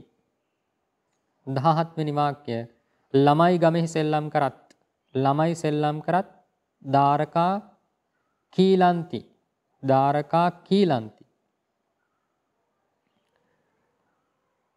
කොහෙද ඒ ක්‍රියාව සිදුවන්නේ? ගමෙහි. ගාමේ. දාරකා ගාමේ කීලන්ති. 18 වෙනි වාක්‍ය. කම්කරුවෝ පහන් දල්වත් කම්කරුවෝ දල්වත් කම්මකාරා ජාලෙන්ති කම්මකාරා ජාලෙන්ති. මොනවද දල්වන්නේ පහන්. එහෙනම් ဒုတိ ය භක්ති බහුවචනේ දීපේ දීපේ කම්මකාරා දීපේ ජාලෙන්ති. අශ්වයෝ ගමෙන් දුවත් අශ්වයෝ ගමෙන් දුවත් අශ්වයෝ දුවත් අශ්වයෝ තමයි මේ වාක්‍යයේ ක්‍රියාව සිදු කරන්නේ. ඒක නිසා කරතෘ කරතෘ පඨමයි භක්ති එනං අශ්වයෝ බහුවචන රූපේ අස්සා අස්සා දුවත් වර්තමාන කාල පඨම පුරුෂ රූපයක් බහුවචනයි ධාවಂತಿ අස්සා ධාවಂತಿ අස්සා ධාවಂತಿ ගමෙන් ගමෙන් දුවත් මෙන්න මේ වචනේ බලන්න ගමෙන් කියන එකෙන් අදහස් වන්නේ මේ කියන්නේ අශ්වයෝ දුවන්නේ ගමේ කියන අදහස නෙමෙයි. නැත්තම් ගම උපකාර කරගෙන දැන් අපි මෙතන තිබුණා නම් මාර්ගයෙන් දුවත් කියලා ඒකෙන් අදහස් වෙන්නේ මාර්ගයේ යම් උපකාරීත්වයක් දක්වනවා. හැබැයි මෙතන කියන්නේ ගමෙන් දුවත්. එහෙනම් අදහස් වන්නේ මේ ගමෙන් ඉවත් වීමක්, ගමෙන් වෙන්වීමක්. අපි කියවා ඒ වෙන්වන අර්ථය පංචමී භක්තියෙන් පාලියේ දෙන්නේ එනම් ගාමම් හා නැත්තම් ගාමස්මා. අස්සා ගාමම් හා ධාවಂತಿ. අස්සා ගාමම් හා ධාවಂತಿ. සිංහයෝ මුවන් මරත්. සිංහයෝ මුවන් මරත්. 20 වෙනි වාක්‍ය සිංහයෝ මරත්. සීහා මාරෙන්ති. සීහා මාරෙන්ති. කාවද මරන්නේ? මැරීම් ක්‍රියාවට ලක්වන පදය තමයි එහෙනම් මුවන්. අනුක්ත රූපය සිංහලදී පාලියේදී ဒ ුතියා විභක්ති බහුවචනයි මිගේ සීහා මිගේ මාරෙන්ති සීහා මිගේ මාරෙන්ති සීහා පඨමා විභක්ති බහුවචන රූපයක්. මුවන් නැත්නම් මිගේ ဒ ුතියා විභක්ති බහුවචන මරත් මාරෙන්ති වර්තමාන කාල බහුවචන රූපයක්. ඔය විදිහට තමයි පාලියට නැගිය යුතු කොටස තියෙන්නේ. එතකොට පස්වෙනි අභ්‍යාසය ওই විදිහටයි පරිවර්තනය කරන්නට ඕන. ඉතින් මේ පරිවර්තනය අපි සිදු කළා වගේ පළවෙනි කොටස සෑම පදයක් පාසාම නාම පදයකට නම් ඒ පදයට අදාළව ලිංගය කුමක්ද පුල්ලිංග භාවය ඉත්තිලිංග භාවය නපුංසකලිංග භාවය විභක්තිය කුමක්ද පඨම ဒ ුතිය ආදී විභක්තිය. ඒක වචන බහුවචන භේදය. ඒ වගේම පඨම පුරුෂ මධ්‍යම පුරුෂ උත්තම පුරුෂ මෙන්න මේ කරුණු කාරණා හතර හොයන්නට ඕන. උග්ගන්හාති නැත්නම් ඒ ක්‍රියාවට අදාළව මේ කුමන කාලයකටද අයත් වන්නේ? ඒක වචනද බහුවචනද? කොයි පුරුෂයටද? පඨම මධ්‍යම උත්තම මෙන්න මේ පුරුෂය කුමක්ද කියලා අපි හොයන්නට ඕන. අන්න ඒ විදිහට සොයමින් ඒ දේ ලියමින් තමයි මේ අභ්‍යාසය කරගෙන යන්නට තියෙන්නේ. එහෙම කළොත් තමයි අපට මේක වාක්‍යයක් දෙකක් පරිවර්තනය කළාම වැටහෙනවා ඒ ආකාරයටම ඉදිරි පරිවර්තනත්. නමුත් එතනින් නතර නොවි සෑම වාක්‍යයක්ම තමන් තනිවම ස්වාභ්‍යාසයක් සිදු කරන්නට ඕන. වාක්‍යයක් පාසාම පරිවර්තනය වචනයක් වචනයක් පාසා වෙන වෙනම අර මුලින් සිහිපත් කළා වගේ වචනයෙන් වචනේ අපි පරිවර්තනය කරන්න පුරුදු වෙන්නට ඕන. එහෙම යද්දි පහසුවෙන් මේ භාෂාව දැනගන්නට පුළුවන්. අපහසුයක් නෑ pāli භාෂාව. මුලිනුත් අපි කතා කළානේ. මේක සිංහල අපේ මේ භාෂාවට බොහොම සමීපයි. හේතුව පාලියෙන් බිඳලා ආපු වචන සෑහෙන ප්‍රමාණයක් සිංහල භාෂාවේ තියෙනවා. සිංහල භාෂාව මේ නූතන අපි කතා කරන සිංහල භාෂාව වචන සමුදායක් තිබෙනවා pāli භාෂාවේ හුරුවට වරණන් වෙන. නැත්නම් pāli භාෂාවෙන් ඍජුවම පැමිණි එහෙම නැත්නම් pāli භාෂාවෙන් බිඳලා ආපු. ඒක නිසා උත්සාහ කළොත් pāli භාෂාව පහසුවෙන් හදාර ගන්න හදාරන්නට පුළුවන්. ඉතින් වෙහසක් දරාමුත් අපි මේ පාලිය දැනගත්තොත් භාෂාව හරියකට දැනගත්තොත් මුලින් කියා වගේ ඒකේ උපකාරය ඒ වගේ සිය දහස් ගුණයක්. මොකද මේ භාෂාව තුළ පමණයි අපට හරියකට බුදුරජාණන් වහන්සේ දේශනා කරලා තිබෙන්නේ කුමක්ද කියලා දැනගන්න පුළුවන්. මොකද pāli භාෂාවේ තියෙන දෙයක් සූත්‍රයක් වේවා අභිධර්ම කරුණක් වේවා විනය කරුණක් වේවා තව දෙවැනි භාෂාවකට පරිවර්තනයක් සිදු කරද්දී ඒ පරිවර්තනය සිදු කරන්නේ තවත් සර්වඥයන් වහන්සේ නමක් විසින් නෙමෙයිනේ. සියල්ල අවබෝධ කළ කෙනෙක් නෙවෙයිනේ. ඒක නිසා යම් යම් දෝෂ නැත්තම් අඩුපාඩු ඒක පුද්ගල දෝෂ වෙන්න පුළුවන් නැත්තම් ඒ භාෂාත්මක දෝෂ වන්නට පුළුවන්. ඒක නිසා මේ පිරිසුදු pāli භාෂාව අපි හරියටම දැනගත්තොත් දේශකයන් වහන්සේලා කුමක් ප්‍රකාශ කළත් අපට හරියටම මූලාශ්‍රයට බැසගෙන මේ ධර්ම කාරණාවක් අධ්‍යයනය කරන්නට පුළුවන්. ඉතින් ඒ සඳහායි මේ ප්‍රයත්නය උත්සාහය. ඊළඟට අභ්‍යාසංක 6 අඩුතැන් ක්‍රියාපද දමා පිරවිය යුතුය. මේ වගේ අභ්‍යාසය ඉතින් සිදු කරද්දී එක ක්‍රියාපදයක් දාන්නට නෙමෙයි. මෙච්චර වෙලා කතා කරලා තියෙන ක්‍රියාරූප කිහිපයම යොදන්නට නෙමෙයි. Taman ස්ව අධ්‍යයනයක් තුළ තව තවත් ක්‍රියාරූප හොයන්න. ඒ හොයලා අලුත් ක්‍රියාරූප මෙතනට යොදා ගන්න උත්සාහ කරන්න. එහෙමයි අපට භාෂාවක් හදාරන්නට තියෙන්නේ. නමුත් අපි දැනට මේ පාවිච්චි කරපු නැත්නම් මේ තාක් කතා කළ ක්‍රියාරූප කිහිපයක්ම යොදා ගමු පහසුනේ. කාකා නාම රූපය විග්‍රහ කරගත්තොත් පඨමයි භක්ති බහුවචන රූපයක් කාකා උඩ්ඩෙන්ති පියඹත් දාසෝ දාසෝ පචති. දාසයා නැත්නම් දාසතෙම පිසී. අස්සා අශ්වයෝ. අශ්වයෝ දුවත් අස්සා ධාවಂತಿ වානිජෝ වෙලෙන්දා. වෙලෙන්දා විකුණයි. වානිජෝ වික්ඛිනාති. මොකද ඒක වචනයි නාමපදේ නැත්නම් කර්තෘ නම් ක්‍රියාවත් ඒක වචන විය යුතුයි. වරහා ඌරෝ. ඌරෝ අපි කියමු සාරති. සාරති. පොළව සාරනවා. එහෙනම් වරහා කනන්ති කනන්ති ලේඛකා. ලේඛකයෝ ලියන්නෝ. ලියති. සරලයිනේ. ලේඛකා බහවචනයි එහෙනම් ලික්හන්ති බහවචන ක්‍රියාරූපයක්. පණ්ඩිතා පණ්ඩිතයෝ අපි කියමු පණ්ඩිතයෝ දේශනා කරති. ධර්මයේ දේශනා කරති. පණ්ඩිතා දේසෙන්ති. දේසෙන්ති. රජකෝ රදවා රෙදි සෝදන ඕන කෙනෙක්. රජකෝ එක වචනයි ධෝවති සෝදයි. ඊළඟ වාක්‍යය. ගෝනා පඨම විභක්ති බහුවචනයි. ගොන්නු අපි කියමු දුවනවා. දුවත් ගොන්නු දුවත්. ගෝනා ධාවಂತಿ සුනක හෝ සුනකයා අනුභව කරනවා. සුනක හෝ අනුභවති නැතනම් භුංජති සුනක හෝ කහාදති භුංජති මිත්තා මිතුරෝ ඉගෙන ගනිත් උගනිත්. මිත්තා මිතුරෝ උගනිත්. උග්ගන්හන්ති මිත්තා උග්ගන්හන්ති පුත්තෝ පුතා සෙල්ලම් කරයි. පුත්තෝ කීලේති පුත්තෝ කීලේති. ඊළඟ කොටස.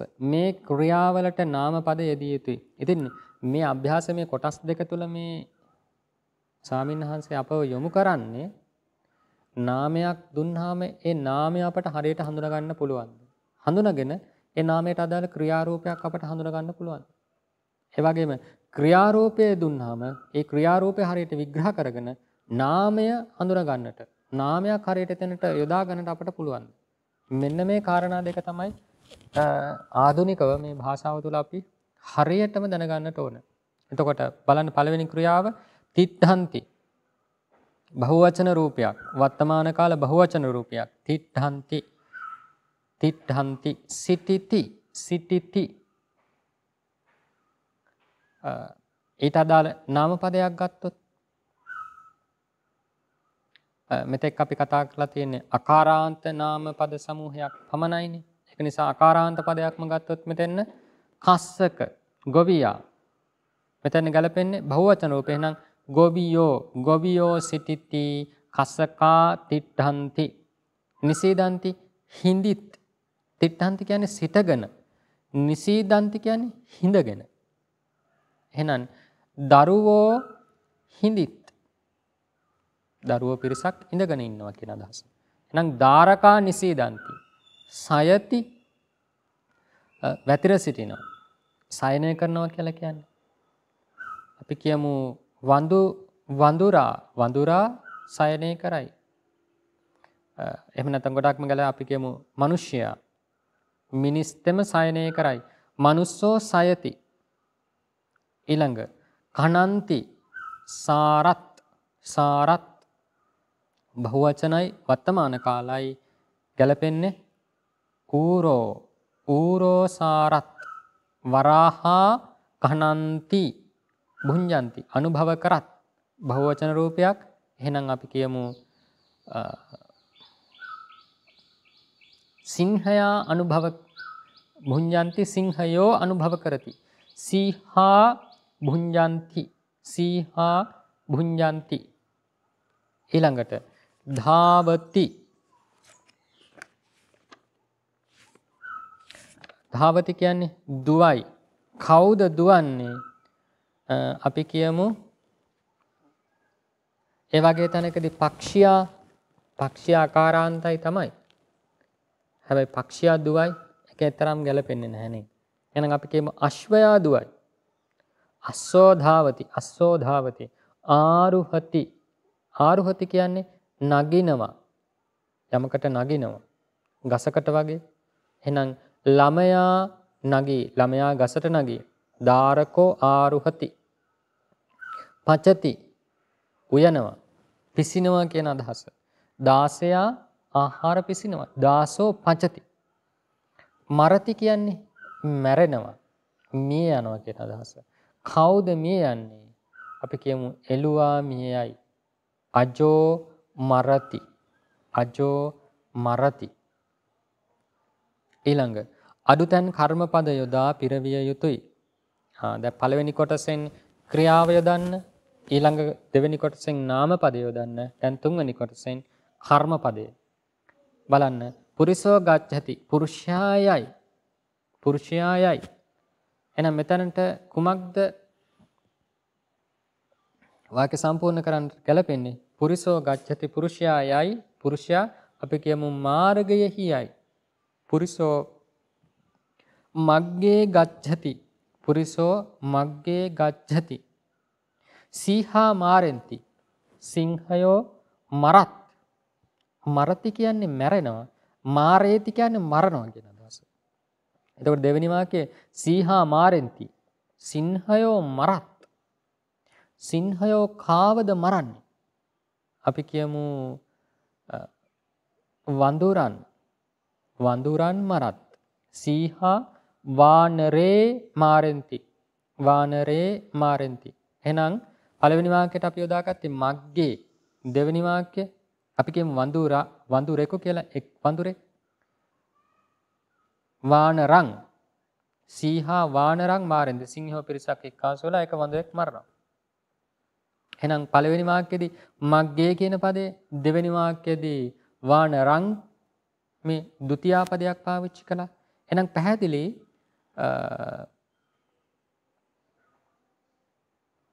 මෙතනදී ඒ පාවිච්චි කරන පදය කුමන විභක්තියෙන් යොදන්න ඕනටද කියන කාරණේ. සීහා මාරෙන්ති. මැරීමේ ක්‍රියාවට ලක්වන පදය. මෙතන විශේෂ කාරණයක් කියන්න තියෙනවා. පළවෙනි වාක්‍යය. දැන් අපි පරිවර්තන අඩුතැන පෙරවුවනේ පුරිසෝ මග්ගේ ගච්ඡති. නමුත් උඩින් ප්‍රශ්නය දෙන්නේ අඩුතැන් කර්මපද යොදා පිරවිය යුතුයි. කර්මපදයක්ම යොදන්නට ඕන. කර්මපදයක්මයි. එහෙනම් අපට අන්‍ය විභක්ති වලට යන්නට බෑ මේ වාක්‍යවලදී. පුරිසෝ ගච්ඡති පුරුෂයා යයි මතක තියාගන්න. ඊ ගච්ඡති කියන ක්‍රියාව හැදෙන්නේ ගමු ධාතුවෙන්. ගමු ධාතුවෙන්. යාම් අර්ථය ප්‍රකාශ වන්නේ ගච්ඡති. ඒක නිසා යම් තැනක යෑම් අර්ථයක් ප්‍රකාශ වනවනන් අපි කියමු ගසකට නගෙනවා කියලා. අන්න ඒ නගින තැන පාලිද අපි දුතියාය භක්තියෙන් නංවන්නට ඕන. රුක්හං ආරුහති. තොට රුක්හං කියන්නේ දුතියාය භක්ති පදයක්. මෙතනත් ඒ වගේ ගච්චති ගාමං ගච්චති ගමට යයි. එහෙමයි නිවැරදිවන්නට ඕන. පලව නිවාක්‍ය කර්ම පදයක් දනට කියන එක නිසා ගාමං ගච්චති බලන්න කියන කාරණය මොකක්ද කියලා යම්කිසි ක්‍රියාධාතුවකින් ප්‍රකාශනය වන්නේ ගමනාර්ථයක් නම් ඒ කියන්නේ කරතුරු යෑමක් පිළිබඳ ප්‍රකාශ වෙනවා නම් අන්න ඒ යන ස්ථානය දැන් මෙතනදී අපි කීවොත් පුරුෂයා ගමට යයි. ඒ යෑම් ක්‍රියාව කොතැනකටද ඉලක්ක වන්නේ? එය ဒုတိ යයි භක්තියෙන් පාලියේදී යොදන්නට ඕන. ඒ වගේම ළමයා ගසට නැගී මේ නැගීමෙන් ප්‍රකාශ වන්නේ යෑමක්. ගමනාර්ථයක්. ඒක නිසා ඒ නගින තැන අපි ဒုတိ යයි භක්තියෙන් පිහිටවන්නට ඕන පාලියේදී රුක්ඛං ආරෝහති. එහෙනම් පළවෙනි වාක්‍ය නිවැරදි කරගන්න අවශ්‍ය වෙනවා පුරිසෝ ගච්ඡති පුරුෂයා යයි කොහාටද යන්නේ ගාමං ගච්ඡති ගමට යයි. දෙවෙනි වාක්‍යය මාරෙන්ති මරයි. එහෙනම් කර්තෘ කරන මේ ක්‍රියාවට ලක්වන කෙනෙක් යටත්වන පදයක් විය යුතුයි මේ කර්ම පදයේ සීහා මිගේ මාරෙන්ති මුවන් මරත්. දාසා ආහාරන්ති දාසයෝ ගෙන එත් දාසයෝ මොනවද ගෙන එන්නේ? අපි කියමු ආහාර. ආහාරං ආහරන්ති. දාසා ආහාරං ආහරන්ති. ඊළඟ පුත්තෝ උග්ගන්හාති පුත්‍රතෙම උගනී. ඒ ඉගෙනීම් ක්‍රියාවට ලක්වන්නේ අපි කියමු ධර්මය. පුත්තෝ ධම්මං උග්ගන්හාති. ධර්මය උගනී. ඊළඟ පස්වෙනි වාක්‍යය චෝරෝ හරති සොරතෙම නැතන් සොරා හරති ගෙන යයි. මොනවද ගෙන යන්නේ? අපි කියමු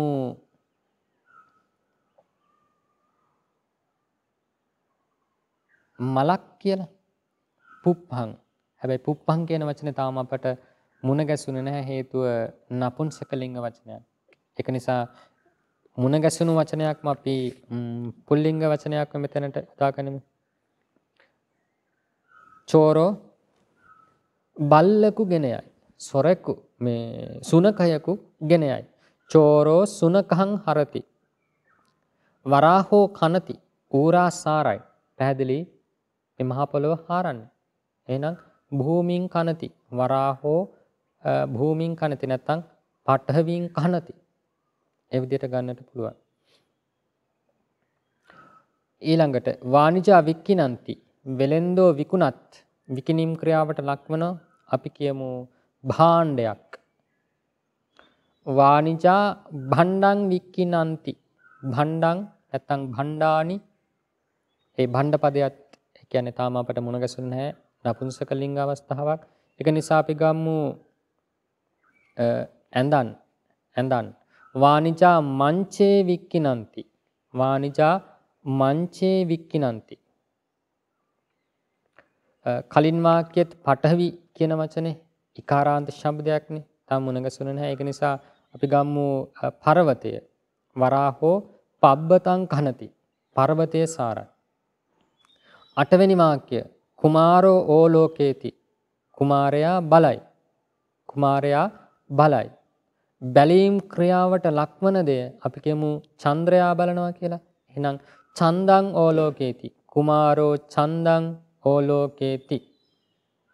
ඔන්න ඔය විදිහටයි ඒ අභ්‍යාසය එන්නට ඕන. හයවෙනි අභ්‍යාසය. දැන් එතකොට මේ දක්වා අපි කතා කළේ අකාරාන්ත ශබ්දයන්. නාමපදයක් වශයෙන් අකාරාන්ත ශබ්දයක් කොහොමද වර්ණම් වන්නේ? පුරිස ශබ්දය වගේ. පුරිස. මේ අකාරාන්ත කියන එකෙන් අදහස් වන්නේ අපි පළවෙනි දවසෙත් කිව්වේ මේ අන්ත වන්නේ ඒ ශබ්දය අන්ත වන්නේ අකාරයකින්. ඒක නිසා අකාරයක් අන්ත කොට ඇති ශබ්ද. දැන් කතා කරන්නට යන්නේ ඉකාරාන්ත ශබ්ද. ඒ කියන්නේ මේ ශබ්ද රූපය අවසන් වන්නේ ඉකාරයකින්. ඉකාරයකින්. එතනදී අපි වර්ණම් වන්නේ මේ අග්ගි ශබ්දය. ඉතින් මේ අග්ගි ශබ්දය හා සමාන වචන රාශියක් දීලා තිබෙනවා. ඒ සෑම පදයක්ම අපි වර්ණම් වන්නට ඕන. අපි පළවෙනි අග්ගි ශබ්දය වර්ණංගමු. පඨමා අග්ගි ඒක වචන බහුවචන අග්ගී අග්ගයෝ. බලන්න ඒක වචන රූපය හ්‍රස්ව අවස්ථාව ඉකාරාන්තයි අග්ගි. හැබැයි බහුවචනයට යද්දී අග්ගී කියලා ඊකාරාන්ත දීර්ඝ වෙනවා. පඨමා අග්ගි අග්ගී අග්ගයෝ.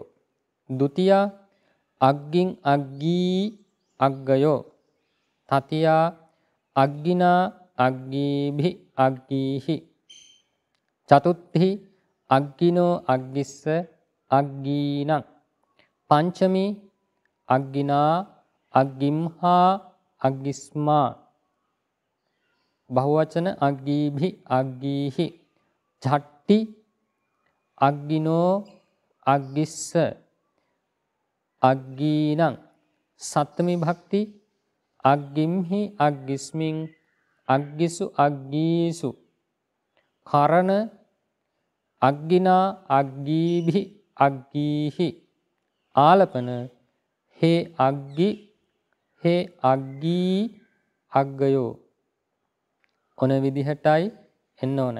සිංහල තේරුම් බැලුවොත් පඨමයි භක්තිය ඒක වචන ගින්න බහුවචන ගිනි. ဒ ුතියා ගින්න ගිනි. බලන්න සිංහලයේ වෙනසක් නැහැ. පඨමා ඒක වචන රූපයත් ဒ ුතියා ඒක වචන රූපයත් වෙනසක් නැහැ. බහුවචන අවස්ථාවත් එහෙම. හැබැයි පාලියේදී ඒක වචන රූපයේ වෙනසක් තිබෙනවා. තතියාව ගින්න විසින් ගිනි විසින්.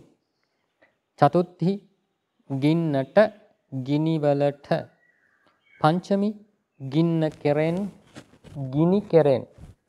චට්ටි ගින්න ගේ කියන්නේ ගින්නට අයිති බහුවචන ගිනිවල. සත්තමි ගින්නෙහි බහුවචන ගිනිවල. එහෙම නැත්නම් ගිනි කෙරෙහි අපි කීවේ විභක්ති ජ්‍යෝතක වචන විභක්ති සූචක වචනයක් විභක්ති ප්‍රකාශ කරන වචනයක්. කෙරෙහි කෙරෙහි ගිනි කෙරෙහි. හරණ විභක්ති ගින්න කරනකොට ඒක වචන බහු වචනය ගිනි කරනකොට ආලපන එම්බා ගින්න බහු වචන එම්බා ගිනි. එම්බා ගිනි. ඉතින් ඔන්න ඔය ටික දැනගන්නට ඕන මතක තියාගන්නට ඕන. මේක පාඩම් කරගන්න මේ සතියේ මොකද ඊළඟ සෑ අපි දෙවනුවට මුණගසන සෑම අභ්‍යාසයක්ම කරන්නට කලින් මේ මුලින් මුණගසන වර්ණගීම හොඳට පාඩම් කරගන්න තියන්නට ඕන. මේ පළවෙනි භාෂාවතරනේ පළවෙනි පොත පුරාවටම මේ වර්ණගීම් කිහිපය තමයි විශේෂ වශයෙන් මේ සාමීනාංශ අවධාරණය කරලා අපට ඉස්මතු කරන්නේ. ඉතින් ඒක හරියට කරගත්තොත් දෙවෙනි තුන්වෙනි පොත් හාස්වෙන් යන්නට පුළුවන්. ඒක නිසා අයාසයක් දරලමුත් කරගත්තොත් පහසුයි ඉදිරියට මේ අභ්‍යාස ටික කරගෙන යන්න.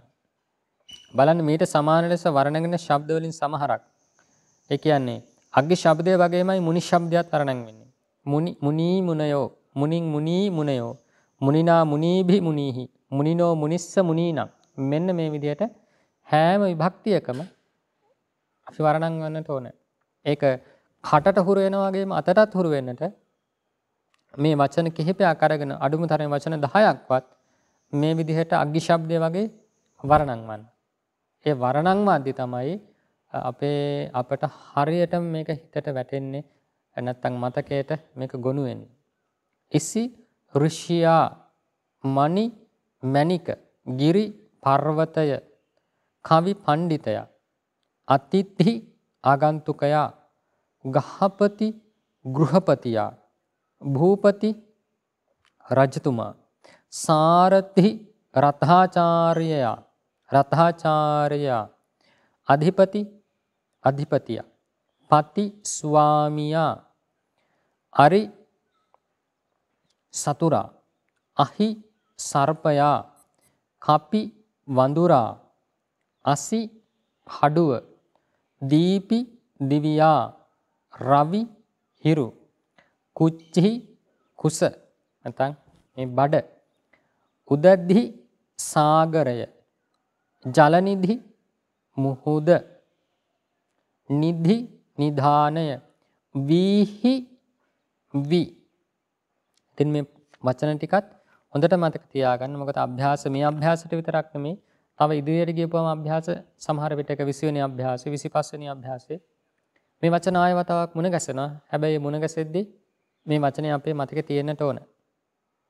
ඒක නිසා Tamanට ආවේනික ක්‍රමවේදයක් පාවිච්චි කරන්න මේ වචනේ මතක තියාගන්නට පුංචි කොල කෑල්ලක ලියාගෙන වෙන්න පුළුවන් නැත්නම් තමාගා වෙන වයිට් බෝඩ් එකක් තියෙනවනේ ඒක ලියාගෙන නිතර නිතර පෙනෙන ඒ වගේම නිතරම සජ්ජායනා කරන්නට පුළුවන් නම් මේ වචන ටික ඉබේටම මතක හිටිනවා. පාණී අත ව්‍යාධි රෝගය මුට්ටි මිට ඥාති නෑයා රාසි සමූහය. ගොඩ කියන අර්ථය. යට්ටි සැරයටිය. මේ විදිහට මේ කියපු සෑම වචනයක්ම මතක තියාගන්න. ඉකාරාන්ත ශබ්ද පාළියේදී. ඉකාරාන්ත. ඊකාරාන්ත නෙමෙයි ඉකාරාන්ත. මොකද ඉකාරාන්ත සහ ඊකාරාන්ත ශබ්ද පාළියේදී පුල්ලින්ගේ වර්ණගීමේ යම් වෙනසක් තිබෙනවා. ඒක නිසා හොඳට මතක තියාගන්න මේ කියන වචන ටික ඉකාරාන්තයි. අග්ගි ශබ්දය වගේ වර්ණගෙ. ඊකාරාන්ත ශබ්ද ඒක පක්ෂි ශබ්දය වගේ ඒක අපි ඊට පස්සේ කතා කරනවා. ඒ විදිහටයි නාම වර්ණගීම. ඊළඟට ක්‍රියා වර්ණගීමක් කියලා දෙනවා අතීත ක්‍රියා. අතීත ක්‍රියාව. දැන් මුලින් කතා කළා වර්තමාන ක්‍රියාව කොයි විදිහට වර්ණන් වෙන්නේ ඊට අදාළ පචති කියන ක්‍රියාව හාලේති මේ ධාතු ඝන අණුව වර්තමාන කාලෙදී පවා ක්‍රියාවක වර්ණගින් වෙනස් වෙනවා. විකිනාති කියන ක්‍රියාව වෙනස් වෙනවා මේ විදිහට. දැන් කතා කරනවා අතීත ක්‍රියා යටතේ පච ධාතුව භුවාදි ධාතු ගණයට අයත් පචපාකේ පච කියන ක්‍රියා ධාතුව කොයි විදිහටද වර්ණන් වෙන්නේ. ඉතින් මෙතනදිත් මතක තියාගන්න මේක අවස්ථාවක් විතරයි. ධාතු ඝන අණුව අතීත ක්‍රියා වර්ණගීම වෙනස් වන ආකාරයන් අපට හඳුනා ගන්නට පුළුවන්. ඒක විශේෂයෙන් මේ සාමින් වහන්සේ භාෂාවතරණේ තුන්වෙනි පොතේ මේ විදිහට වෙනස් වෙන රූප සමුදායක් එකාසු කරලා පෙන්වලා තියලා තිබෙනවා. ඉතින් මේ පොත පරිශීලනය කරන අතරතුරේදීම පුළුවන් නම් ඒ තනුත් පොඩක් විමසන්න ඒක උපකාරකයි. පච ධාතු අතීත කාලයේහි කත්තුකාරකෙහි කර්තෘකාරක අවස්ථාව කර්මකාරක නෙමෙයි මේ කියන්නේ කර්තෘකාරක. එකෙන් අදහස් වෙන්නේ අවසාන ක්‍රියාවෙන් ප්‍රකාශ කරන්නේ නැත්නම් අවසාන ක්‍රියාව බැඳලා තිබෙන්නේ වාක්‍යයක කර්තෘ හා සමග. කර්තෘ කරන ක්‍රියාවන් මේ ප්‍රකාශ වන්නේ. එහෙම නැත්නම් මේ වාක්‍ය වැදගත්ම දේ කර්තෘ නාම පදයක් වශයෙන් ඉස්මතු වන්නේ. එහෙම නොවි කර්මය නම් ඉස්මතු වන්නේ අප ඒ අවස්ථාවට කියන එක කර්මකාරක අවස්ථාවක් කියලා. බලන්න අතීත ක්‍රියා යටතේ පඨම පුරුෂ රූපය ඒක වචන අපච්චි පච්චි බහුවචන අපච්චින්සු පචින්සු අපච්චුම් පචුම්. ඒක වචන අපච්චි පච්චි බහුවචන අපචින්සු පචින්සු අපචුම් පචුම්. මජ්ක්‍ධිම පුරුෂ ඒක වචන අපචෝ පචෝ බහුවචන රූපය. අපචිත්ත පචිත්ත අපචිත්ත පචිත්ත උත්තම පුරුෂය. ඒක වචන අවස්ථාව. අපචින් පචින් බහුවචන අපචිම්හ පචිම්හ අපචිම්හා පචිම්හා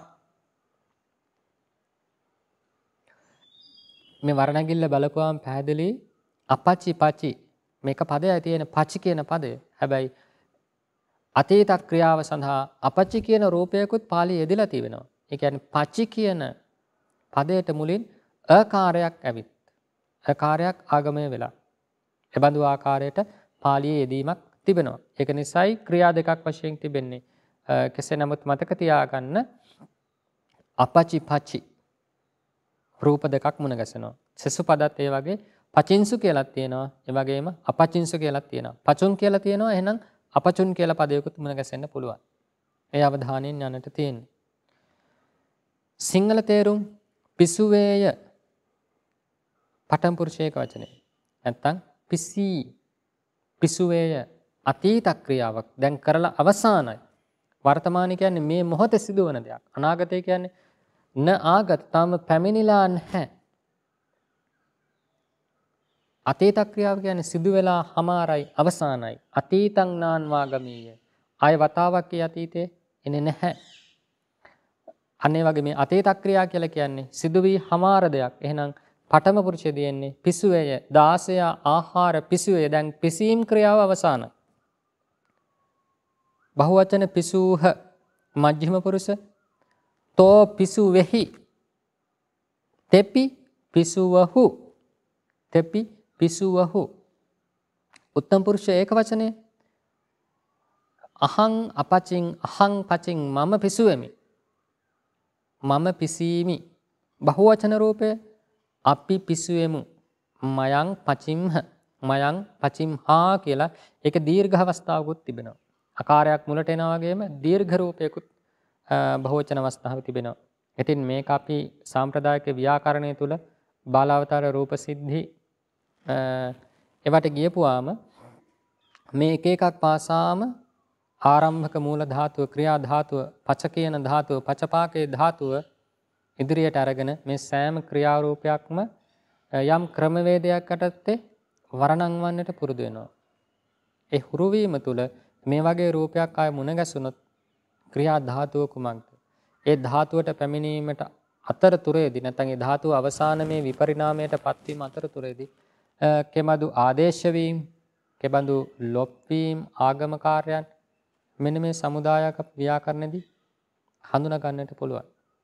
ඒක නිසා අවශ්‍ය නම් අපි ඊළඟ දවසේ මේ එක පදයක් ඒ විදිහට විශේෂයෙන් ආධුනික ග්‍රන්ථයේ බාලාවතාරේ මුණගැසෙන ඒ නීති උපයෝගී කරගෙන එක පදයක් අපි වර්ණම් වන්න උත්සාහ කරමු. වර්ණම් වල බලමු. එතකොට මේක තවත් ප්‍රකට වෙනවා. යට දීලා තිබෙනවා මේ තක් අපි කතා කරපු වචන කිහිපයක්මයි ඒ තුල ගච්ඡි ගියේය. ගච්ඡි ගියේය. ඒ කියන්නේ යාම් ක්‍රියාවක් අවසන් වෙලා. එහෙනම් මෙතනදී අපි හොයන්නට ඕනේ ගියේය කියලා ගච්ඡි කියනවා නම් යනවට කුමක්ද කියන්නේ? ගච්ඡති ගච්ඡති වර්තමාන ක්‍රියාව ගච්ඡති. ඒ වර්තමාන ක්‍රියාවට අදාළ අතීත ක්‍රියාව තමයි ගච්ඡි. අන්නේ රූප දෙකම අපට හඳුනා ගන්නට පුළුවන් වන්න තෝන. එහෙනම් බලන්න යාචි කියන්නේ යාචති කියන වර්තමාන ක්‍රියාවේ අතීතය ඉල්ලුවේය. පහරි කියන්නේ පහරති වර්තමානයි පහරි අතීතයි. ගැසුවේය. මේ විදිහට සෑම ක්‍රියාවක් පාසා විමසන්න මෙතන තියෙන ඒ වගේම මෙතන නැති මෙතෙක් මුණ ගැසුන මොන මුණ නොගැසුන ඒ විදිහට ස්වයං අධ්‍යයනයක දෙන්න උත්සාහ කරන්න. පුළුවන් නම් විශේෂයෙන් කොහොම සරල පරිවර්තනයක් කරගන්නට මජ්ක්‍ධිම නිකාය වගේ දේශනා පාළියක් ඍජුවම අරගෙන ඒවායේ pāli භාෂාව නැත්නම් pāli යෙදීම මඩක් දුරකට කියවගෙන යද්දී අර්ථ බොහොම ප්‍රකටයි. ඒ වගේම ඉතින් අපහසු තැනක් තිබෙනවා නම් බුද්ධ ජයන්ති පරිවර්තනවල හරිම ප්‍රශස්ත වූ පරිවර්තනයක් ඒ ස්වාමීන් වහන්සේලා දීලා තියෙනවා ඒකට. ඒකින්ද උත්සාහ කරන්න මෙතන තියෙන වචන වගේම මේ කියන ව්‍යාකරණය ප්‍රායෝගිකව යෙදෙන අවස්ථාව තමයි පෙළ දේශනාව අට කතාව ටීකාව එතනට සමීප වන්න. ඉතින් එතනට යන්න මූල ප්‍රවේශයක් අපට මජ්ක්‍ධිම නිකාය බොහෝකට සමීපයි. මොකද ඒක කියවදී රසයකුත් ඉස්මතු වෙනවා. ඇතුළාන්තයක් කතා කරනවා වගේම බොහෝ දීර්ඝ සූත්‍රات නෙමෙයි හැබැයි සංක්ෂිප්ත දේශනාත් නෙමෙයි රසවත්ව ඒක තුළ යෙදිලා අපට කියවන්නට පුළුවන්. ඒක නිසා මේ කියන ව්‍යාකරණ රීතීන් ටික යෙදෙන්නේ කොයි ආකාරයටද? ඒක විමසමින් මේ අධ්‍යයනය කරනවා නම් හරි පහසුයි. ඒක නිසා අපි බලමු තව අභ්‍යාස කිහිපයක් ගිහිල්ලා ඒ වගේ පරිවර්තන පොතක් ආධුනිකයන්ට පරිවර්තන පොත් හැටියට අපි පාලි පාඨ මංජරිය නැත්නම් ධම්මපදාට්ඨ කතාව, ජාතකාට්ඨ කතාවනි පරිශීලනය කරන්න. අන්න ඒ වගේ කෘතියකුත් මේ හා සමග එක්ව යන්න වෙලාව යෙදුනොත්. ඊළඟට දදි දුන්නේය. හරි ගෙන ගියේය. කාදි කෑවේය. චින්දි කැපුවේය. භංජි කැඩුවේය. ආරුහි නැංගේය. ගමි ගියේය. චරි හැසිරුණේය. නිසීදි හුන්නේය. සයි නිදාගත්තේය. ධාවි දිව්වේය. හරි කලේය. වික්කිනි වික්කුණුවේය. කිනි මිලට ගත්තේය. දසි දෂ්ට කලේය. අභාවි විය. සිදුවිය කියන අදහස. ඉතින් මෙන්න මේ ආදිය මීට සමානව වර්ණගේ. ඒ කියන්නේ උඩ තියෙන පච ධාතුව යම් විදිහකට අපච්චි පච්චි අපචින්සු පචින්සු අපි එක ක්‍රියාරූපයක් වර්ණන්වමු. අපි ගම්මු පළවෙනි පදයේම ගමු. ගච්චි කියන ක්‍රියාරූපය. එතකොට වර්ණන් වන්නට ඕන අගච්චි ගච්චි අගච්චිහින්සු ගච්චිහින්සු අගච්ඡුං ගච්ඡුං අගච්ඡෝ ගච්ඡෝ අගච්ඡිත්ත ගච්ඡිත්ත අගච්ඡින් ගච්ඡින් අගච්ඡිම්ම ගච්ඡිම්ම අගච්ඡිම්හා ගච්ඡිම්හා මෙන්න මේ විදිහට තමයි එන්නේ. හැබැයි මතක තියාගන්න මේ රූප වර්ණංවගෙන ගියාම සමහර තැනකදී ඒ වචන කියද්දී හරිම අමුත්තක් නැත්තම් මේක පාළියේ මේ විදිහට යෙදීම හරිද? මේ වගේ අදහසක් එන්නට පුළුවන්. ඉතින් එතනට අපිට මධ්‍යස්ත වන්නට තියෙන්නේ අපි සියල්ලෙන් සියල්ල ඒ පාළි යෙදීම් ටික තාම කියවලා නැති නිසා නැත්නම් උන ගැසලා නැති නිසා ඒ විදිහට හැඟෙන්නේ කෙසේ නමුත් මේ තියෙන වචන ටික හරියටම යොදන්නට අපි පුරුදු වෙමු. එහෙම කළාම පහසුයි මේක දරා ගන්නට. ඊළඟට කියනවා වර්තමාන කාලයට උදාහරණ වශයෙන් දැක් වූ මුල් කොටසේ ක්‍රියා අතුරෙන් තිට්ඨති යන්න හැර ඉතිරි සියල්ල අතීතයේ මෙසේ වරණගි. ආ මෙතෙක් කතා කළ ක්‍රියාරූපයන් අතරින් තිට්ඨති ඨා කියන ධාතුවෙන් හැදෙන්නේ. ඨා කියන ක්‍රියා ධාතුවෙන් තිට්ඨති කියන ක්‍රියාව.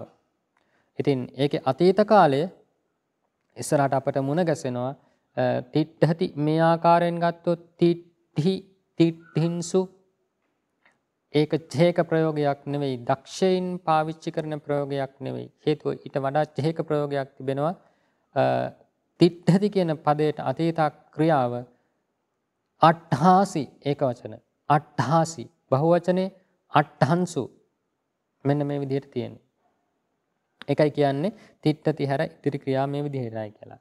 ආහාරති ආදී ස්වරයක් මුලින් ඇති පදයන්ට අපචි ආදී තන්හි වැඩිවන ආකාරය නොයේදේ. ඒක පාළියේ ලක්ෂණයක්නේ. ඔය ප්‍රාකෘත භාෂාවල නම් ඒ විදිහට ස්වර දෙකක් එක ළඟ යෙදෙනවා බොහෝ තැන්වල. හැබැයි මේ සිංහල මේ අපි මේ කතා කරන pāli භාෂාවේදී ඒ විදිහට ස්වර දෙකක් එක ළඟ පිහිටන්නේ නැහැ. ඒක උච්චාරණ අපහසුයි. මොකද බුද්ධ භාෂිතය කියන්නේ හැමෝටම පහසුවෙන් උච්චාරණය කරන්න පුළුවන් භාෂාවක්. හුරු වුණොත්. ඒක නිසා ස්වර දෙකක් එක ළඟ දෙන්නේ නැහැ. එනිසායි කියන්නේ මේ ආහාරති ආදී ආහාරති කියන පදේ අතීත කාලේ ආහාරි නැවත වතාවක් අයන්නක් මුලට යොදලා පූර්වයේ යොදලා ආහාරි කියලා එහෙම රූපයක් පාලිය මුණගස් වෙන්නේ නැහැ.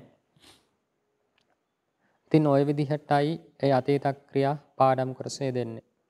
එහෙනම් මෙතෙක් කතා කරපු කතා කළ මේ පාඩම ආය වතාවක් බලන්න අපි අද කළ අභ්‍යාසය නැවත වතාවක් බලන්න ඒක ප්‍රශ්න තිබෙනවා නම් ඒ සඳහා පිළිතුරු සොයන්න විමසන්නට පුළුවන්.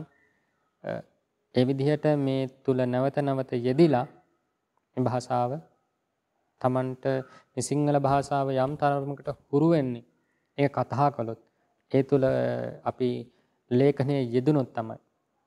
ඒක කියෙව්වොත් තමයි. ඒක නිසා මේ pāli භාෂාවටත් හදාරන්න තියෙන පහසු ක්‍රමය තමයි අර්ථය නොයැටෙන්නට පුළුවන්. නමුත් අර මුලින් සිහිපත් කළා වගේ එපෙළ දේශනාවක් අරගෙන ශබ්ද නගල උච්චාරණය කරන්න, සජ්ජායනා කරන්න, කියවන්න, ලියන්න, ඒ වගේම අර්ථ විමසන්න උත්සාහ කරන්න.